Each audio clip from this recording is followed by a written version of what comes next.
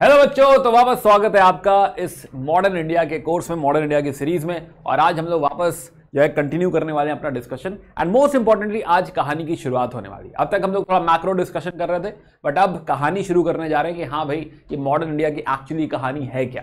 Right so so तो advent of the Europeans in India कि भाई ये यूरोपियंस अंग्रेज़ जो हम कहते हैं कि हमें हमें गुलाम बनाया इन्होंने। राइट right, तो ये आए ही क्यों? कहाँ से आए क्यों आए? रीजन क्या था इन सारी बातों का? आज जो है इसको समझेंगे। तो बहुत इंटरेस्टिंग चैप्टर है तो this is chapter three of Spectrum book तो ये हमारा सोर्स रहेगा मॉडर्न इंडिया के लिए। राइट right, तो इसे हम कंटिन्यू करते हैं। या सो सो यहाँ पे हम बात करेंगे सबसे पहले पोर्चुगीज से। तो शुरुआत करेंगे कहानी की पोर्चुगीज से। सबसे पहले हमारे यहाँ पोर्चुगीज आएँगे पर उसके भी पहले क्यों? वाई आए ही क्यों? राइट right, बट इनकी पूरी कथा को समझेंगे फिर डच की बात करेंगे डच आए थे फिर इंग्लिश आएँगे फिर इसके इसके साथ साथ जो है डेन्स भी आ जाएँगे डेन्स बट ये बहुत रेलिवेंट नहीं है तो इनकी कहानी बाद में देखेंगे. राइट right, फ्रेंच आ जाएँगे. तो इसको आप ऐसे पढ़ सकते हैं. हमारे लिए जो इंपॉर्टेंट है वो है पीडीएफ पीडीएफ तो इस सीक्वेंस में पीडीएफ के सीक्वेंस में हमारे यहाँ लोग आते रहेंगे. अब इसमें जीतने वाले हैं अंग्रेज़. राइट right, अंग्रेज़ जीतने वाले हैं. तो ये क्यों जीते? लास्ट में ये भी बात करेंगे कि ऐसा क्या खास बात है भाई? ऐसे क्या सुर खाब के पर लगे हुए हैं कि हाँ यही लोग जीते इन्हीं की जीत हुई और फाइनली इन्होंने ही हमारे ऊपर राज्य किया। राइट तो ये पूरा डिस्कशन हम लोग करने वाले खैर आइए बात शुरू करते हैं। सो so, सो so, इसके पहले जो है थोड़ा पर्सपेक्टिव के लिए मैं आपको एक सवाल दे रहा हूँ कि examine sorry evaluate the implication of the Anglo French rivalry कि एंग्लो फ्रेंच राइवलरी जो है राइट right? एंग्लो मतलब क्या होता है? Anglo comes from the word English तो जब एंग्लो लिखा होता है मतलब बात हो रही है ब्रिटिश की, ब्रिटानिया की, कि जो ब्रिटिश की जो दुश्मनी है फ्रांस के साथ राइट है ना, वो किस तरीके से जिम्मेदार है ईस्ट इंडिया कंपनी के राइस के लिए। अब क्या है ईस्ट इंडिया कंपनी? देखेंगे हम लोग। खैर तो मैं Abhishek Srivastava the core faculty PW only I S मैं आपको हिस्ट्री ऑफ़ कल्चर पढ़ाता हूँ। राइट मैं पिछले आठ सालों से पढ़ा रहा हूँ एंड बाकी आप मेरे बारे में यहाँ से पढ़ लें। कहानी शुरू करते हैं। तो पोर्चुगीज की कहानी शुरू करते हैं। बट उसके पहले मैं आपको बैकग्राउंड बताऊँ कि जरा हो क्या रहा है पोर्चुगीज का।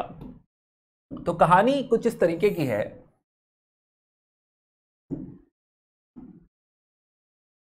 कि पहले इस दुनिया में जो राज्य हुआ करता था 700 सेंचुरी तक 700 सेंचुरी तक समवेयर डोमिनेट किया करता था रोमन अंपायर यूरोप डोमिनेट किया करता था। राइट right, पहले डोमिनेशन था यूरोप का बट ग्रेजुअली ग्रेजुअली ये डिक्लाइन करने लगा। और 700 से राइज होने लगा अरब।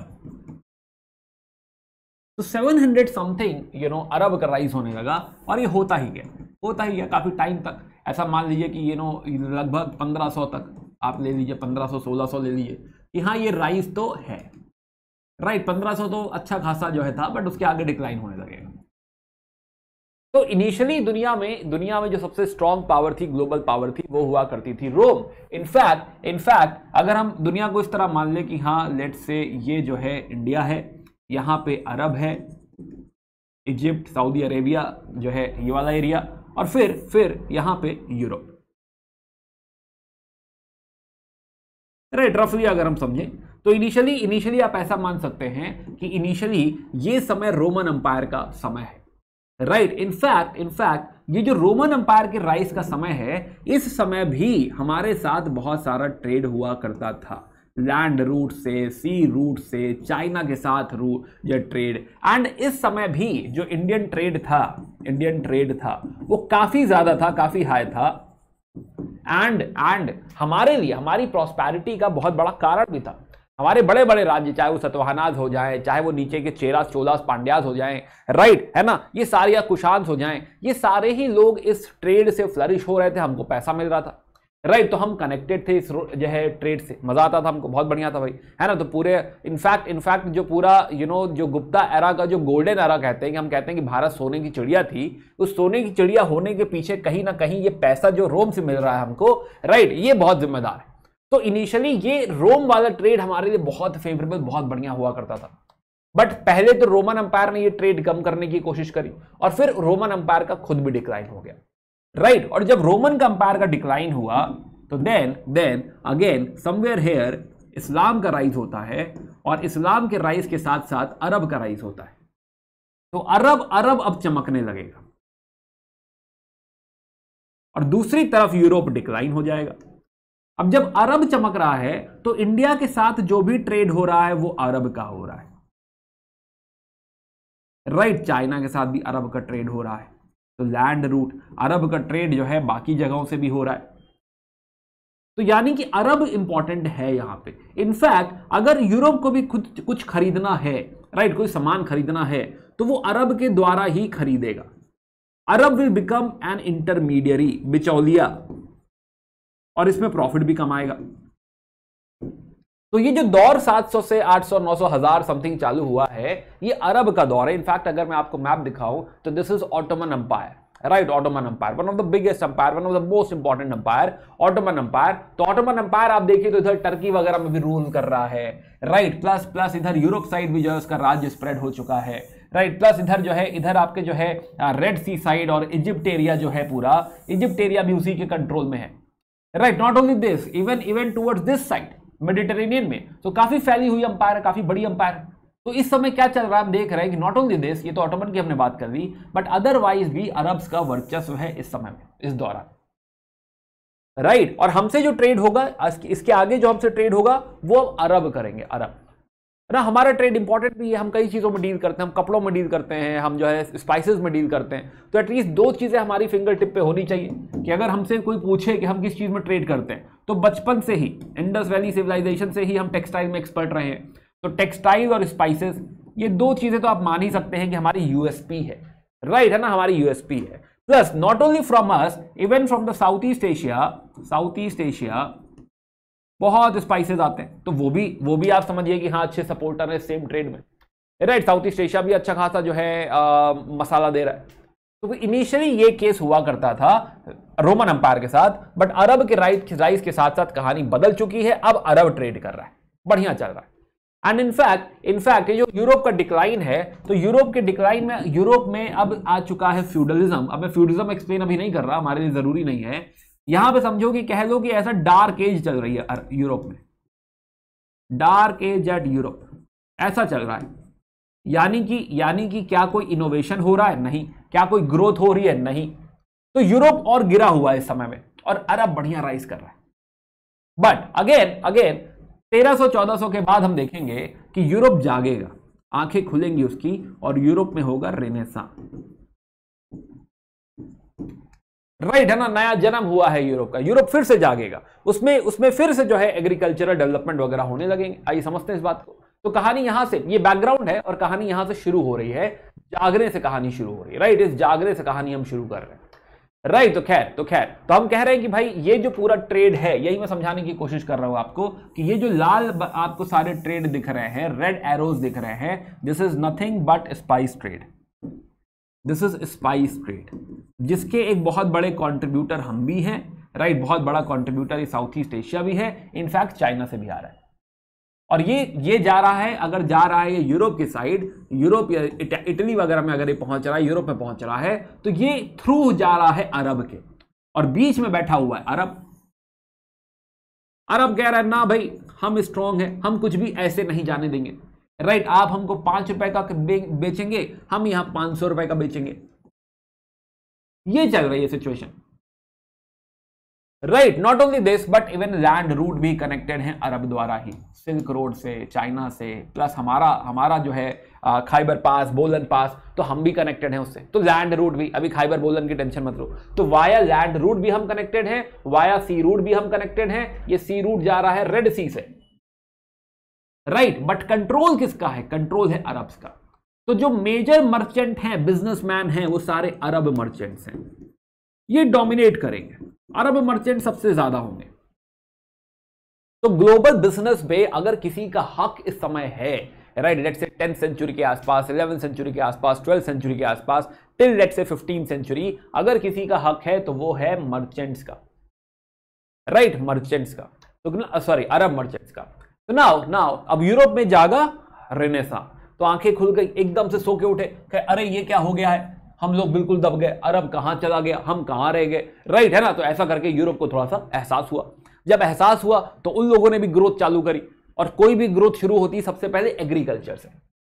राइट कि बिना खेती बिना खेती आप नहीं जीत सकते। कि पहले खाने के लिए, पहले पेट भरा होना चाहिए, उसके बाद आप साइंस और नेविगेशन तो शिपिंग सब बातें करते रहिएगा। तो एग्रीकल्चरल ग्रोथ चालू हुई। एग्रीकल्चर में बहुत सारी टेक्नोलॉजी लेकर आए। राइट प्लॉ वगैरह इन्होंने इंप्रूव किया, अपना एग्रीकल्चरल एक्सपेंशन किया क्रॉप मैनेजमेंट में साइंस लेकर आ गए, बढ़िया बढ़िया क्रॉप्स उगाने लग गए, उधर प्रोडक्टिविटी बढ़ गई रोटेशन वगैरह करने लग गए क्रॉप का। तो अब धीरे धीरे क्या आ रहा है? With this growth of agriculture they are having more prosperity पैसा आ रहा है भाई। विद एग्रीकल्चर एग्रीकल्चर के साथ साथ एनिमल हस्बेंड्री भी होती है लाइव स्टॉक भी रखोगे, जानवर भी रखोगे। तो now with this flourishment meat eating और पॉपुलर होने लगी। मीट ईटिंग राइट है ना कि भाई जो है जब भी अगर आप नॉन वेजिटेरियन फैमिली को बिलोंग करते हैं तो यू कैन अंडरस्टैंड कि कोई पार्टी हो कोई मेहमान आया हो तो सबसे पहले होता है कि भाई क्या हो आज आज मटन बनेगा। राइट right, तो कुछ वैसे ही कि जैसे जैसे ये पैसा बढ़ रहा है उनकी रिक्वायरमेंट भी क्या हो गई कि अब खाली रोटी से नहीं होगा। रोटी दाल से बात नहीं बनेगी। आज थोड़ा मीट बनाओ। एंड जब मीट बनाते तो मीट में फिर होता है कि जाओ चिकन मसाला लेकर आओ तो जो है खड़ा मसाला लेकर आओ तो एटसेट्रा एटसेट्रा कहाँ से लाओगे मसाला? इंडिया से। राइट तो अब इन्हें मसाले की ज़रूरत पड़ रही है। अब इन्हें इंडिया की याद आ रही है। इंडिया की इंडिया एकदम से जो है जुदाई जैसी फीलिंग होने लगी। कहाँ हो इंडिया राइट कैसे हो कैसे जो है मिले आपसे वापस? वाई वाई ऐसा नहीं कि वो इंडिया को जानते नहीं। उन्हें ऐसा भी नहीं कि हमारे हमारा रास्ता नहीं पता। बट बट क्या है? प्रॉब्लम क्या है? रास्ता ब्लॉक्ड है। राइट right, है ना? जो पाँच रुपए का मसाले का पैकेट है वो पाँच रुपए का बिक रहा है यहाँ पे। है ना तो महँगा है। तो अब कुछ तो जुगाड़ करना पड़ेगा। राइट और अब जग भी चले जग, भी चुके हैं। तो नाउ दिल बी लाइक कि हाँ they will start you know building up तो थोड़ा सा साइंटिफिक डेवलपमेंट वगैरह होगा।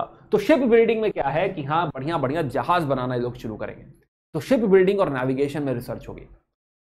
Right plus plus demand not only for spices जब पैसा आता है तो फिर लगता है कि नहीं भाई थोड़ा कपड़ा महँगा खरीदा जाए मॉल में जाके खरीदा जाए। राइट है ना? आप बुद्ध बाज़ार में कपड़ा नहीं खरीदेंगे। राइट अब जो है जाके खरीदेंगे किसी लिवाइस के शोरूम में पैंटलूस में चलेंगे। तो वैसे ही वैसे ही, वैसे यहाँ पे होगा कि भाई जो है, अब हमको इंडिया का ना अच्छा कपड़ा चाहिए। राइट इंडिया में जो कपड़ा बनाते हैं कॉटन वगैरह के जो कपड़े बनाते हैं, बेहतरीन बनाते हैं। तो उस तरह का हमें कुछ दिलवा दो, वो हमको चाहिए। तो अब डिमांड जो है डिमांड अब जो है यूरोप की जो डिमांड है it is towards luxury it's towards spices क्या ज़रूरत है? ज़रूरत है इंडिया के साथ ट्रेड की। तो एकदम से भूख लगी है कि हाँ जो है, इंडिया को, इंडिया से जो है ट्रेड करना है हमको। राइट नाउ नाउ अब यहाँ पे यूरोप कुछ कंट्री समझो अगर आप नहीं जानते हैं तो तो यूरोप तो नाउ यूरोप में यूरोप में इंपॉर्टेंट जो जो है प्लेयर्स हैं तो एक तो हमारे लिए पूरी कहानी में इंपॉर्टेंट है पोर्चुगीज हमने पीडीएफ की बात करी तो दिस इज़ पोर्चुगीज छोटा सा राज्य एकदम किनारे में ऐसा बैठा हुआ है। राइट है ना पोर्चुगीज राइट है ना? तो एक तो ये हो गया। दूसरा इसी के साथ है स्पेन तो ये जब स्पेन का नाम आए तो मतलब स्पेन। में भी आप जानते हो, बट सुन लो एक बारी। राइट, फ्रांस, ये है हमारा एक और important player France. This is France. Then then Dutch is technically from Netherlands ये लिखा हुआ है Netherlands right Danes are Denmark Danes right और प्लस ब्रिटेन आप जानते हैं। तो ये जो एरिया है, ये ब्रिटेन है तो फ़िलहाल अब यूरोप को फील हो रहा है कि कहीं से कहीं से मसाला लेकर आओ, कहीं से इंडिया से कपड़ा लेकर आओ, जबकि इधर अभी ऑटोमन अंपायर है, ऐसा नहीं कि नहीं है बट ऑटोमन अंपायर है। बट मीन ये वापस जगने लगे हैं, ये वापस ग्रो करने लगे राइट right? तो अब अरब के डिक्लाइन का वक्त आ रहा है और फिर से यूरोप के जागने का वक्त आ रहा है। Right now now they are like कोई रास्ता बताओ, कोई रास्ता बताओ। तो इटली है, इटली इटली जैसे मैं आपको दिखाऊँ तो इटली यहाँ पे इटली यहाँ पे हमें वेनिस दिख रहा है, जेनेवा दिख रहा है राइट तो इटली यही ऑटोमन अंपायर के बगल बैठी हुई है। राइट इटली भी इंटरेस्टेड है कि कुछ रास्ता निकल आए। कोई ऑल्टरनेट रास्ता पता चल जाए। ऐसे कहीं उड़ के चले जाए हम लोग। कुछ तो ऐसा रास्ता निकालो। राइट बट उस समय हवाई जहाज़ तो थे नहीं तो उड़ने का रास्ता तो नहीं है। तो खैर तो Italy and all will also say कि भाई हम पैसा वैसा प्रोवाइड करेंगे सपोर्ट प्रोवाइड करेंगे, रास्ता ढूंढे कोई बस। राइट रास्ता ढूंढ के जाओ। तो वेनिस और जेनोवा ये भी जो है सपोर्ट करने को रेडी हैं कि भाई ठीक है, कुछ रस्ते का जुगाड़ करो। राइट जो शिपिंग नॉलेज चाहिए, जो ज्ञान चाहिए, देंगे। बट जुगाड़ करो। राइट अब ऐसे में ऐसे में सबकी आँखें गड़ी हुई हैं पोर्चुगल और स्पेन के ऊपर कि भाई तुम लोग किनारे बैठे हो, तुम लोग जाओ सबसे आगे तुम ही लोग बैठे, तुम लोग फिगर आउट करो। ऐसा होता है ना क्लास में जब जैसे उठ के जाना होता है तो सबसे आगे वाला उठेगा, तभी हम उठेंगे। ऐसे वाला वेट होता है थोड़ा। तो बिल्कुल वैसे ही कि पोर्चुगल और स्पेन से यहाँ पे उम्मीद है कि भाई आप लोग यहाँ पे शुरुआत करिए। रीजन भी है। पोर्चुगल में पोर्चुगल में there is Henry prince prince Henry इनको नेविगेटर भी कहते हैं। इनके जीवन का सपना है कि हमें इंडिया का कोई रास्ता ढूंढना है। इंडिया पहुँचना है हमको। राइट किसी तरीके से कोई इंडिया पहुँचा दे। राइट रास्ता ढूंढा दे उसमें जो खर्चा लगे जो फंडिंग चाहिए चलेगा। राइट बट इंडिया को पहुँचा दे। तो he has that dream and that is the reason कि he will invest into this पैसे थोड़े इन्वेस्ट करेंगे लोगों को कहेंगे हाँ पता करो मैप बनाओ शिप बनाओ अच्छा सा शिप बनाओ। राइट right, कुछ तो फिगर आउट करो। Now now so so pope है उस समय पोप निकोलस फाइव है ना? वो कहेंगे कि ये लोग bull bull is you are very bullish aggressive very good जो है इसको पता करो रास्ता पता करो उनको और मोटिवेट कर रहे हैं। दो प्रिंस हेनरी की डेथ हो जाएगी before they will find out the route. But but still but still जो है यहाँ पे यहाँ पे एक खोजबीन चालू हो गई। अब इस खोजबीन में दो बड़ी इवेंट है। तो मान लेते हैं कि लेट से ये है, ये एरिया है, आपका पोर्चुगल और ये स्पेन और ये आपका पीछे का यूरोप नाउ इन 1492 1492 अब देखो, ये आइडिया है कि दुनिया गोल है तो अगर इस साइड भी चले जाएँगे तो घूम के कहीं इंडिया पहुँच जाएँगे। क्या करने वाले बाई द समझ लो, करने ये वाले हैं कि ये जो अरब है अरब, इस रास्ते से तो आप नहीं जा सकते। तो कोई घूम के रास्ता बताओ, कोई दूसरा रास्ता बताओ आप इंडिया पहुँचने का। कहाँ पहुँचना है? इंडिया पहुँचना है।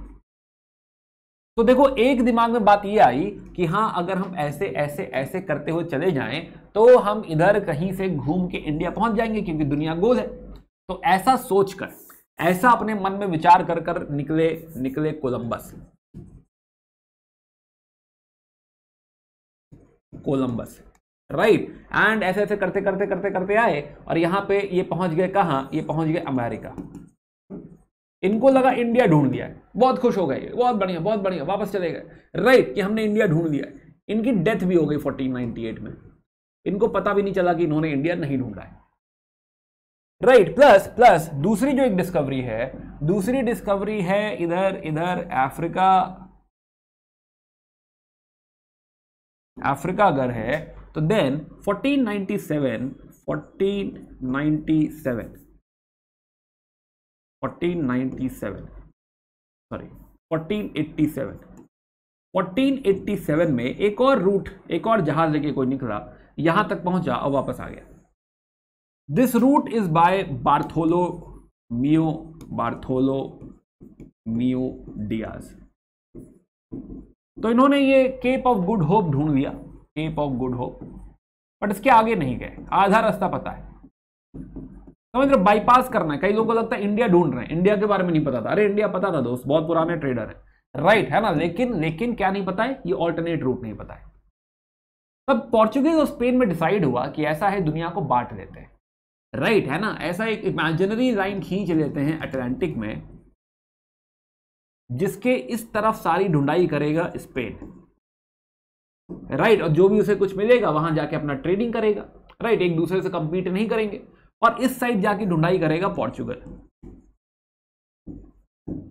है ना? तो अपना अपना एरिया बांट लिया, इधर इधर कुछ मिले तो भाई तुम ट्रेड कर लेना, इधर कुछ मिलेगा तो हम ट्रेड कर लेंगे।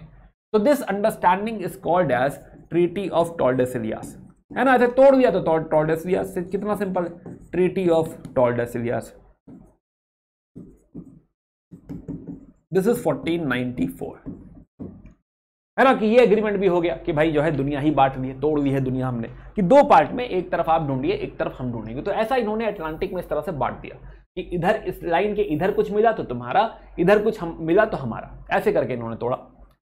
Right and then and then यहाँ से जर्नी शुरू होती है, यहाँ से जर्नी शुरू होती है हमारे वास्को डगामा की। तो वास्को डगामा तो वास्को डगामा निकले यहाँ से पोर्चुगल से ढूंढते हुए कि हाँ इसे इस साइड जाना है। तो ऐसे ढूंढते ढूंढते ढूंढते ढूंढते ढूंढते ढूंढते निकले वो। राइट ढूंढते हुए। पहुँचे वापस, यहाँ तक तो रास्ता पहले भी पता था, अब आगे का पता नहीं है। तो यही अफ्रीका के किनारे किनारे रहेंगे, ज़्यादा बाहर नहीं जाएँगे। राइट अब यहीं पे यहीं पे इनको मुलाकात होती है एक गुजराती पायलट मिलते हैं इनको। गुजराती पायलट अब पायलट क्या होता है? पायलट एक लोकल कैप्टन होता है, जहाज़ का। उसे ना ये गड्ढे वड्ढे पता होते सारे रास्ते पता होते तो ये गुजराती पायलट है अब्दुल माजिद। इनसे मुलाकात हुई इनकी। क्या माजिद साहब, आप इंडिया से कहे हाँ भाई, इंडिया से कहाँ, गुजरात से?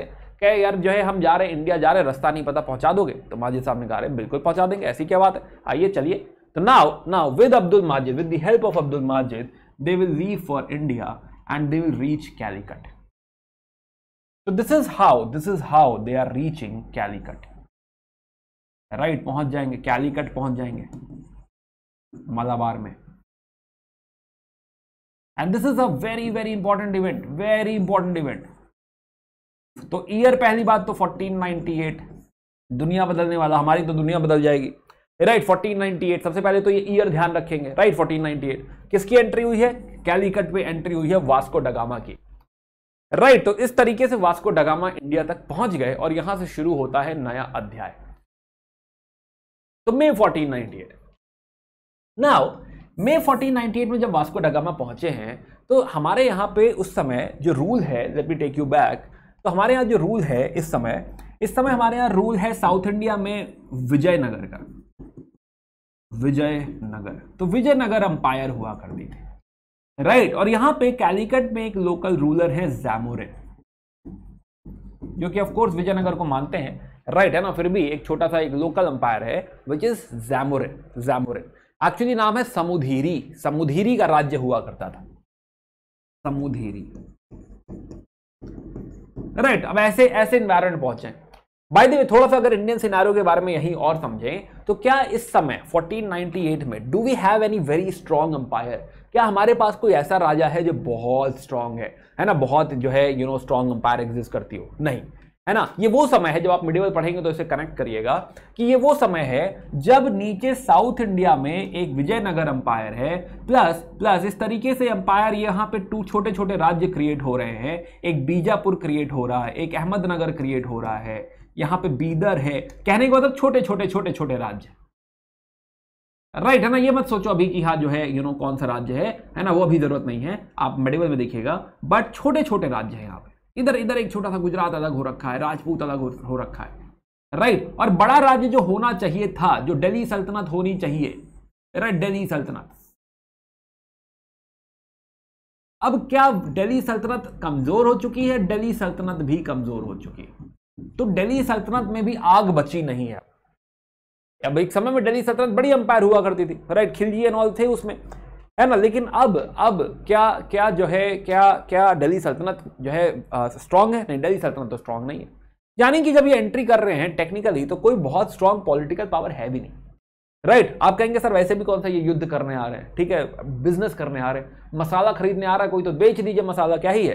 राइट कपड़ा लेने आ रहा है तो बेच दीजिए। इट्स ओके है ना? तो हाँ बात सही भी आपकी कि हाँ ये जो ये जो रहा है वास्को डगामा ये तो हमारे यहाँ पे बिज़नेस करने आ रहा है, हमसे मसाला खरीदने आ रहा है। तो क्या ही बुराई है भाई, खरीद लेने दो ना, कोई बुराई नहीं है। तो इट्स ओके है ना? कि हम तो चाहते हैं कि हमारा सामान कोई खरीद के जाए। आप कहेंगे, नहीं नहीं, सर, ऐसे नहीं यूरोपियन को नहीं अलाउ करना चाहिए। सोचो ना इस बात को, कि हमारा प्रोडक्ट है, हम आज क्या चाहते हैं? हम चाहते हैं कि हमारा एक्सपोर्ट हो। राइट, हमसे कोई सामान खरीद के लेके जाए। उस समय भी हम यही चाहते थे, कोई सामान खरीदेगा तो बदले में हमें फ़ीस देगा, सोना देगा। राइट, बदले में हमको जो है पैसा देगा उसके बारे में, उसके उसके बदले में। तो हमारे लिए अच्छा ही है तो वाई नॉट तो we should we should actually want we should actually like कि हाँ कोई एक नया ग्राहक आ रहा है। राइट, अब तक क्या है, खाली अरब्स हैं। अब तक खाली अरब ट्रेड कर रहे हैं। अब एक नया ग्राहक नए रास्ते से आ गया है तो अच्छा ही है ना। राइट, अरब की मोनोपली नहीं रहेगी। है ना? वरना अरब हमको कम पैसा देगा ये दोनों में कंपटीशन हो जाएगा, हमको ज़्यादा पैसा मिलेगा तो बहुत अच्छी बात है। राइट तो समुद्री मुस्कुराएँगे, वाह भाई वाह, नया नया ग्राहक आ गया है, अच्छी बात है, मसाला बिकेगा, बहुत बढ़िया बात है। तो ना तो इन दोनों की मुलाकात होगी ऑफ़ कोर्स जैसा आप समझ गए कि Samudri will be like very happy कि हाँ ठीक है, जो है, हमारे पास एक नया ग्राहक आया है, कोई बात नहीं, अच्छी बात है। बुलाओ भाई, इनको स्वागत करो तो इनका स्वागत किया जाए। हालाँकि यहाँ पे यहाँ पे वास्को डागामा के पास थोड़े पैसे भी कम ही हैं बट स्टिल समुद्री कहेगा बेचो यार। पहली बार आ रहा है, चलो, दे दो डिस्काउंट डिस्काउंट दे दो, कोई बात नहीं। तो उनको मसाला वसाला थोड़ा बेच देंगे। अच्छा यहाँ पे वास्को डगामा एक और बात कहेंगे। वास्को डगामा कहेंगे कि समुद्री साहब, ऐसा हो सकता है क्या कि यहाँ पे जो है सिर्फ़ और सिर्फ़ पोर्चुगीज ट्रेड करें। अरब ट्रेड ना करें। राइट तो समुद्री मुस्कुराया क्या भाई आए हो पहले पहले दिन आए हो कह रहे हो कि मोनोपली करनी है। राइट ऐसे थोड़े होता है। Right of course not I can not support that Arab मेरे पुराने ग्राहक हैं तो मैं नहीं सपोर्ट कर सकता। राइट है ना? तुम्हें सामान चाहिए तो खरीदो। चलो भाई। तो यहाँ पे वास्को डागामा के पास भी ऑप्शन नहीं हो सेट की। हाँ ठीक है, चलो, खरीदते जाते अभी वापस गए, अपना सामान वामान लेके पेपर पेपर वेपर खरीदा इन्होंने। वापस पहुँचे पोर्चुगीज पोर्चुगल अब पोर्चुगल पहुँचे तो यही सामान जो है खूब महँगा खरीदा गया। राइट और न्यूज़ भी हुई कि वास्को डगामा ने रास्ता ढूंढ लिया रास्ता ढूंढ लिया रास्ता ढूंढ लिया वाह भी वाह। है ना? तो खूब ता, तारीफें भी हो रही वास्को डगामा की। वास्को डगामा फूले नहीं संभाल रहे। है ना? एक नया कोट पहन लिया ड्रेस पहन लिया गमछा लगा लिया। राइट सो नाउ तो now Vasco da Gama is popular कि हाँ भाई इन्होंने रास्ता ढूंढ लिया। है भी बड़ी बड़ी इवेंट है भाई वास्को डगामा की। है ना? तो पेपर जो हम सबसे बड़ा स्पाइसेस में जो सबसे बड़ी चीज़ है वो है पेपर काली मिर्च। राइट इसको लेके हम लोग जो है हम लोग क्या यूरोप जो है काफा का, खासा जो है इमोशनल है। इसमें बड़ा उनको पसंद आता है, खाने मिला के खाते हैं।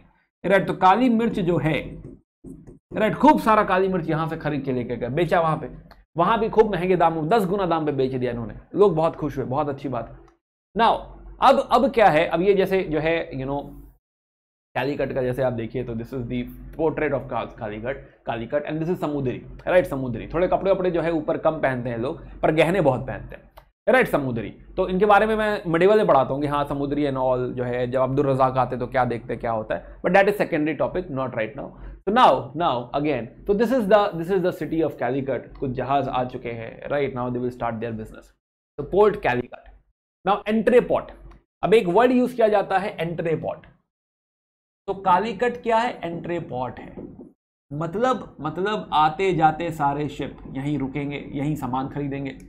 राइट ट्रांजिशन में भी हेल्प कर रहा है। अंदर का सामान जो है हिंटरलैंड का, वो भी यहीं पे बेचा जा रहा है। तो that way that way business जो है कैलीकट का अच्छा बिज़नेस है भाई। राइट बढ़िया बिज़नेस है। तो सही जगह पहुँचे भाई कैलीकट पहुँच चुके हैं ये लोग। अब जब जब पोर्चुगल पोर्चुगीज में जब ये बात उठी कि इतना फ़ायदा हो रहा है, नया रास्ता मिल गया है राइट अब तो हम खूब पैसा कमाएँगे। तो now there are business man there are venturers who are interested ऐसे लोग हैं जो इंटरेस्टेड हैं कि भाई हम भी इस बिज़नेस में पार्टिसिपेट करेंगे। अब ऐसे ही हैं एक हमारे Cabral ji Pedro Alvares Cabral. Pedro Pedro Pedro ने कहा, तुरंत निकलो, तुरंत जहाज़ बांधो, रास्ता मिल गया, चलो भागो। राइट है ना? भाग के पहुँचे कैलिकट तो 1500 में तुरंत ही, है ना? विद इन टू ईयर्स अगर आप देखिए तो वो आया, चला गया और ये ये भी पहुँच गए। है ना? ये ये खबर सुनते ही भागे, है ना? कि चलो भाई कैलीकट चलो, हम भी वहाँ से सामान खरीदेंगे। नाउ नाउ कैलिकट में पहुँच के क्या होता है कि ये कैलिकट में अपना सामान मान उतार रहे थे? तो कैलिकट पहुंचेगी अब कैलिकट में जहाज़ से अपना ही सामान उतार रहे थे। राइट अब इस पर कुछ लोकल्स थे वहाँ के। लोकल्स ने फ़ायदा उठा लिया अटैक कर दिया। राइट लोकल्स ने अटैक कर दिया। अब पेड्रो अल्वरास कब्रियाल पहली बार तो पहली बार आए हैं बिज़नेस करने तो स्वागत इनका अलग तरीके से हो गया। तो इन्होंने क्या किया इसका बदला लेने के लिए? He has bombarded the city तो एक तो शहर पे बम गिराया कैलीकट पे। बट पता नहीं क्यों, क्या इनको सूझा? राइट इन्होंने यहाँ जो अरब जहाज़ खड़े थे राइट उनके ऊपर भी बम गिरा दिया, इनको भी जला दिया, इनको, इनका सामान भी छीन लिया। Right right. नाउ इसका लॉजिक नहीं है। लॉजिक यही है कि भाई कंपटीशन है ये। मौका मिला है तो गुस्से में ये भी दिखा दो कि हाँ चलो हमने उसको बर्बाद कर दिया। राइट right, तो शुरू से ही पहले दिन कहते हैं ना पूत के पाप पालने में दिख जाते हैं। तो पहले दिन से ये हरकतें चालू हो गई। अभी नए नए आए हैं तीसरा साल है टेक्निकली और ये सब इन्होंने चालू कर दिया है। तो कैलीकट समझाएगा भाई जो है सॉरी जमुदरी जो है जैमोरिन समझाएँगे क्या कर रहे हो भाई क्या हो रहा है ये? है ना बताओ भाई ट्रेड करने आए हो ट्रेड करो। Right so here here now now because of this all fighting and all तो थोड़ी negotiating power बढ़ जाएगी। And they will start trading from three places तो कैलिकट कोचीन एंड कैननॉर तो ये तीन प्लेसेस इनिशियली राइट अभी वास्को डगामा भी आ जाएँगे। तो ये तीन प्लेसेस इनिशियली जो है समझिए कि हाँ इंपॉर्टेंट हो रहे हैं। राइट right, यहाँ से ट्रेड चालू हो रहा है। तो नाउ यू कैन से कि इन इंडिया इनिशियल जो फुट होल्ड मिल रहा है उनको, वो मलाबार में मिल रहा है। केरला एरिया में राइट केरला एरिया में मलाबार एरिया में सबसे पहले उनको थोड़ा सा पैर रखने को मिल रहा है फुट होल्ड इनको मिल रहा है। राइट तब तक वो भी वापस आ जाएँगे वास्को डागामा तो वास्को डागामा 1501 में फिर आ गए। राइट जैमोरन से कहते हैं कि अरब मर्चेंट को एक्सक्लूड कर दो, है ना? अरब मर्चेंट्स को और डाउट है अब इन लोगों के ऊपर। वो नहीं चाहते कि पोर्चुगीज के साथ ट्रेडिंग हो। तो कहते कि अरब मर्चेंट्स को एक्सक्लूड कर दो। फिर मुस्कुराए जैमोरन के कैसी बातें कर रहे हो यार? अभी चौथा साल है तुम्हारा। राइट तीसरा ही साल है टेक्निकली राइट तुम कह रहे हो कि अरब मर्चेंट्स को जो है यू नो एक्सक्लूड कर दिया जाए। अब यहाँ वास्को डगामा की भी अरब से लड़ाई हो जाती तो ये क्लैशेस चालू हैं राइट एंड ये तीनों प्लेसेस इनके इंपॉर्टेंट ट्रेडिंग सेंटर स्टार्ट में शुरू हो जाएँगे। नाउ दिस इज़ वॉट की हाँ Vasco da Gama and Pedro Alvares Cabral तो टेक्निकली ये सब बिज़नेस हो रहा है अभी। राइट बिज़नेस की बात हो रही बट पोर्चुगल सरकार को लगा कि अब हमको ना ऑफिशियली कुछ करना चाहिए। राइट है ना? अब हमको रास्ता पता चल गया हमें इस रास्ते की एडवांटेज उठानी चाहिए। हमें हमें कुछ जो है यू नो डायरेक्टली इसमें इंटरफेयर करना चाहिए और इंश्योर करना चाहिए कि यहाँ पे हमारा वर्चस्व है। राइट तो अब सरकार इंटरवीन करेगी। तो अब बारी पोर्चुगीज सरकार की, अब तक वास्को डगामा और जो है कबराल आ रहे थे, लेकिन अब सरकार को क्या लगा कि अब हमें अपना ऑफिशियली गवर्नर भेजना चाहिए। गवर्नर राइट right, जो कि सरकार की रणनीति को इस एरिया में एग्जीक्यूट करे। है ना? नाउ पहला गवर्नर तो let us put this on a timeline timeline बनाते हैं। Again again please make these timelines right काफ़ी आसान हो जाएगा आपके लिए। तो हमने बात करी कि कहानी शुरू होती है 1498 एंट्री हुई वास्को डगामा की।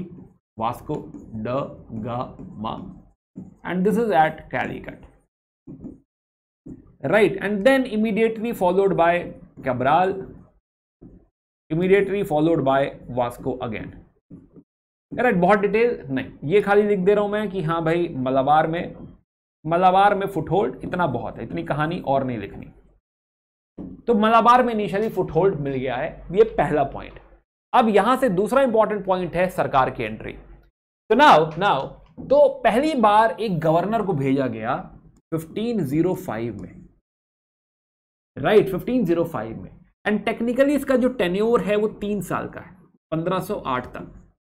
किसको भेजा गया है? फ्रांसिस्को दी अल्मियादा एफ़ अभी एफ़ डी ए लिख लो आपके लिए आसान हो जाएगा एफ़ डी ए तो एफ़ डी ए तो फ्रांसिस्को दी अल्मियादा राइट तो अल्मियादा साहब आ गए फ्रांसिस्को दी अल्मियादा को भेजा गया है कि जाओ ये जो हमें रूट मिल गया है जो इंडियन ट्रेड है you should take care now right you should regulate the policies you should create कि हाँ भाई हम सिक्योर रहें कोई हमारा नुकसान ना हो। तो इसके लिए अपना एक गवर्नर भेजा है और गवर्नर का टेन्योर होता है तीन साल का।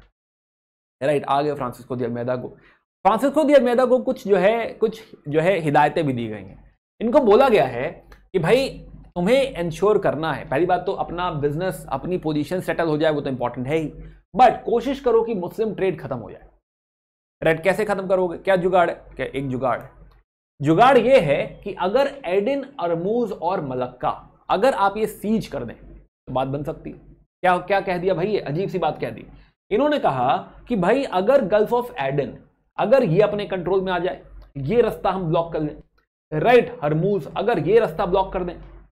राइट और प्लस मलक्का यानी इधर इधर South Africa sorry Singapore side इधर जाने वाला रास्ता, वो भी ब्लॉक कर लें समझ पा रहे हो? नहीं, चलो और देखो।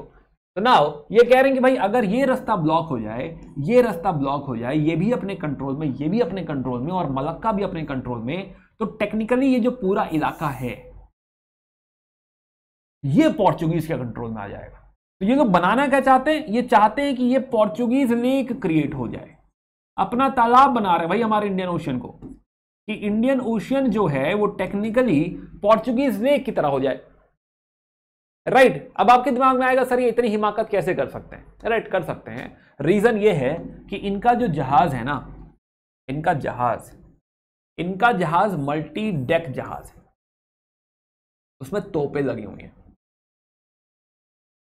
ये जहाज़ जो है ये ऐसा छोटा मोटा पानी पार करने के लिए नहीं बनाया गया राइट right, यहाँ मानसून की हवा लगी और हम यू नो ऐसे बहते हुए इंडिया पहुँच गए ये वो जहाज़ नहीं है। ये वो जहाज़ है जो इधर पूरा यूरोप क्रॉस करके, अमेरिका, अफ्रीका क्रॉस करके, नीचे से घूम के और सारे तूफानों के थपेड़े लेते हुआ कैलिकट पहुँचता है।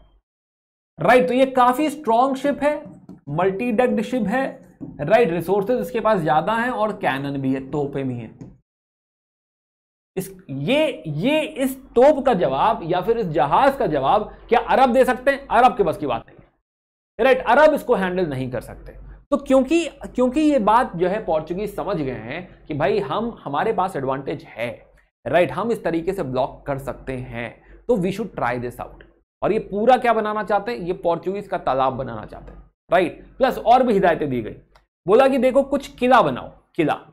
कैसा किला बनाओ? कि जाओ और एक गोवा में किला बना दो। राइट अंजदीवा फोर्ट तो गोवा में एक किला बना दो, एक कोचिन और कैननौर बना दो और एक किलवा तंजानिया बना दो। देखो, यानी कि घेराबंदी और स्ट्रॉन्ग कह रहे हैं कि एक इधर कहीं गोवा में बना दो दो इधर कहीं केरला में बना दो, किला राइट ताकि आपको लैंड पे भी थोड़ा सा सपोर्ट मिल जाए। और प्लस इधर तंजानिया कहीं जो है बना दो किलवा में। तो ये टेक्निकली पूरा कंट्रोल क्रिएट करना चाह रहे हैं। That is the whole intent तो पहला ही गवर्नर भेज रहे हैं और इरादे देखो आप। तो अंजादीवा में बना भी देंगे जाके वो एक अपना फोर्ट बना देंगे अंजादीवा में। Right this is this is cannon और तो कैनन और में जाके किलाबाजी कर देंगे। राइट तो देखो स्टार्ट क्रिएटिंग हमें एक स्ट्रॉन्ग फोर्टिफिकेशन एक स्ट्रॉन्ग जो है यू you नो know, यहाँ पे क्रिएट करना है अपनी स्ट्रेंथ क्रिएट करनी है यहाँ right now now of course of course अब लोगों को बुरा लगेगा। लोगों को काफ़ी बुरा लगेगा। कि क्या कर रहे हो भाई? ये क्या क्या हो क्या रहा है? अब बिकॉज़ कि लोगों को बुरा लग रहा है और किसको किसको बुरा लग रहा है? यहाँ पे बुरा लग रहा है गुजरात पे बैठे हैं महमूद बेगाड़ा। राइट ये कह रहे हैं कि हाँ जो है हमारा बढ़िया ट्रेड होता था अरब मर्चेंट हमसे ट्रेड किया करते थे ये लोग क्या ही क्रिएट कर रहे हैं? बुरा लग रहा है जैमोरिन को। Right Zamorin Zamorin is right कि अरे ये तो कुछ भी हो रहा है अब। We need to stop this ये तो कुछ भी चल रहा है। बुरा लग रहा है इजिप्ट के सुल्तान को। इजिप्ट के सुल्तान को बुरा लग रहा है कि क्या होगा हमारे बिज़नेस का। राइट right, कि अगर हम इस तरीके से ब्लॉक हो गए तो क्या होगा? And because of this because of this ये सारे लोग कंबाइन हो जाएँगे। जैमोरिन बोगाड़ा इजिप्ट राइट प्लस यूरोप से और सपोर्ट मिल जाएगा थोड़ा बहुत। तो नाउ ये सारे लोग कंबाइन होकर एक लड़ाई होगी चौल पे। दिस इज़ रफली 150708 battle of Chaul right again फिर से याद दिला दो कि पोर्चुगीज का गवर्नर कौन है? पोर्चुगीज का गवर्नर है इस समय Francisco de Almeida F D A तो एफडीए तो अलमेदा अलमेदा अलमेदा इस समय गवर्नर हैं और ये युद्ध हो गया है और इस युद्ध में युद्ध में अलमेदा विल लूज पहली लड़ाई lose right and this is 1508 तो टेक्निकली इनका टेन्योर भी ओवर हो गया टेक्निकली एफडीए शुड से कि मेरा तो टेन्योर ओवर हो गया मैं घर जा रहा हूँ। राइट right, होता ना कि अब छुट्टी हो गई हम घर जा रहे हैं अब कुछ भी हो अब मैम कुछ भी पढ़ाती ना हम घर जा रहे हैं। राइट right, तो वैसा हो जाता था। तो टेक्निकली 1508 इनके घर जाने का वक्त हो रहा है। अब जो भी युद्ध युद्ध हुआ, इनको चले जाना चाहिए, वापस चले जाना चाहिए। राइट और इनका रिलीवर आ भी गया है। इनके रिलीवर हैं, इनके रिलीवर जो एफडीए के हैं, उनका नाम है, खाली साइड में लिख दे रहा हूँ, उनका नाम है अल्फोंसो कितना अच्छा नाम है अल्फोंसो अल्फोंसो आ चुके हैं। एफडीए को कह रहे हैं कि हाँ सर रिलीव कर देता हूँ। इन्होंने अल्फोंसो को उठा के जेल में डाल दिया। इन्होंने तुम वेट करो। अभी मेरा वक्त नहीं हुआ है, मैं रुकूँगा। क्यों? क्यों रुकूँगा? हुआ ये कि चौल में, चौल के इस युद्ध में एफडीए का बेटा लॉरेंको मारा गया। Lourenco de Almeida. And FDA decided कि ना ना, यहाँ पे मैं वापस नहीं जाऊँगा, मैं अभी युद्ध करूँगा। राइट मुझे इसका बदला लेना है। And then 1509 is battle of Diu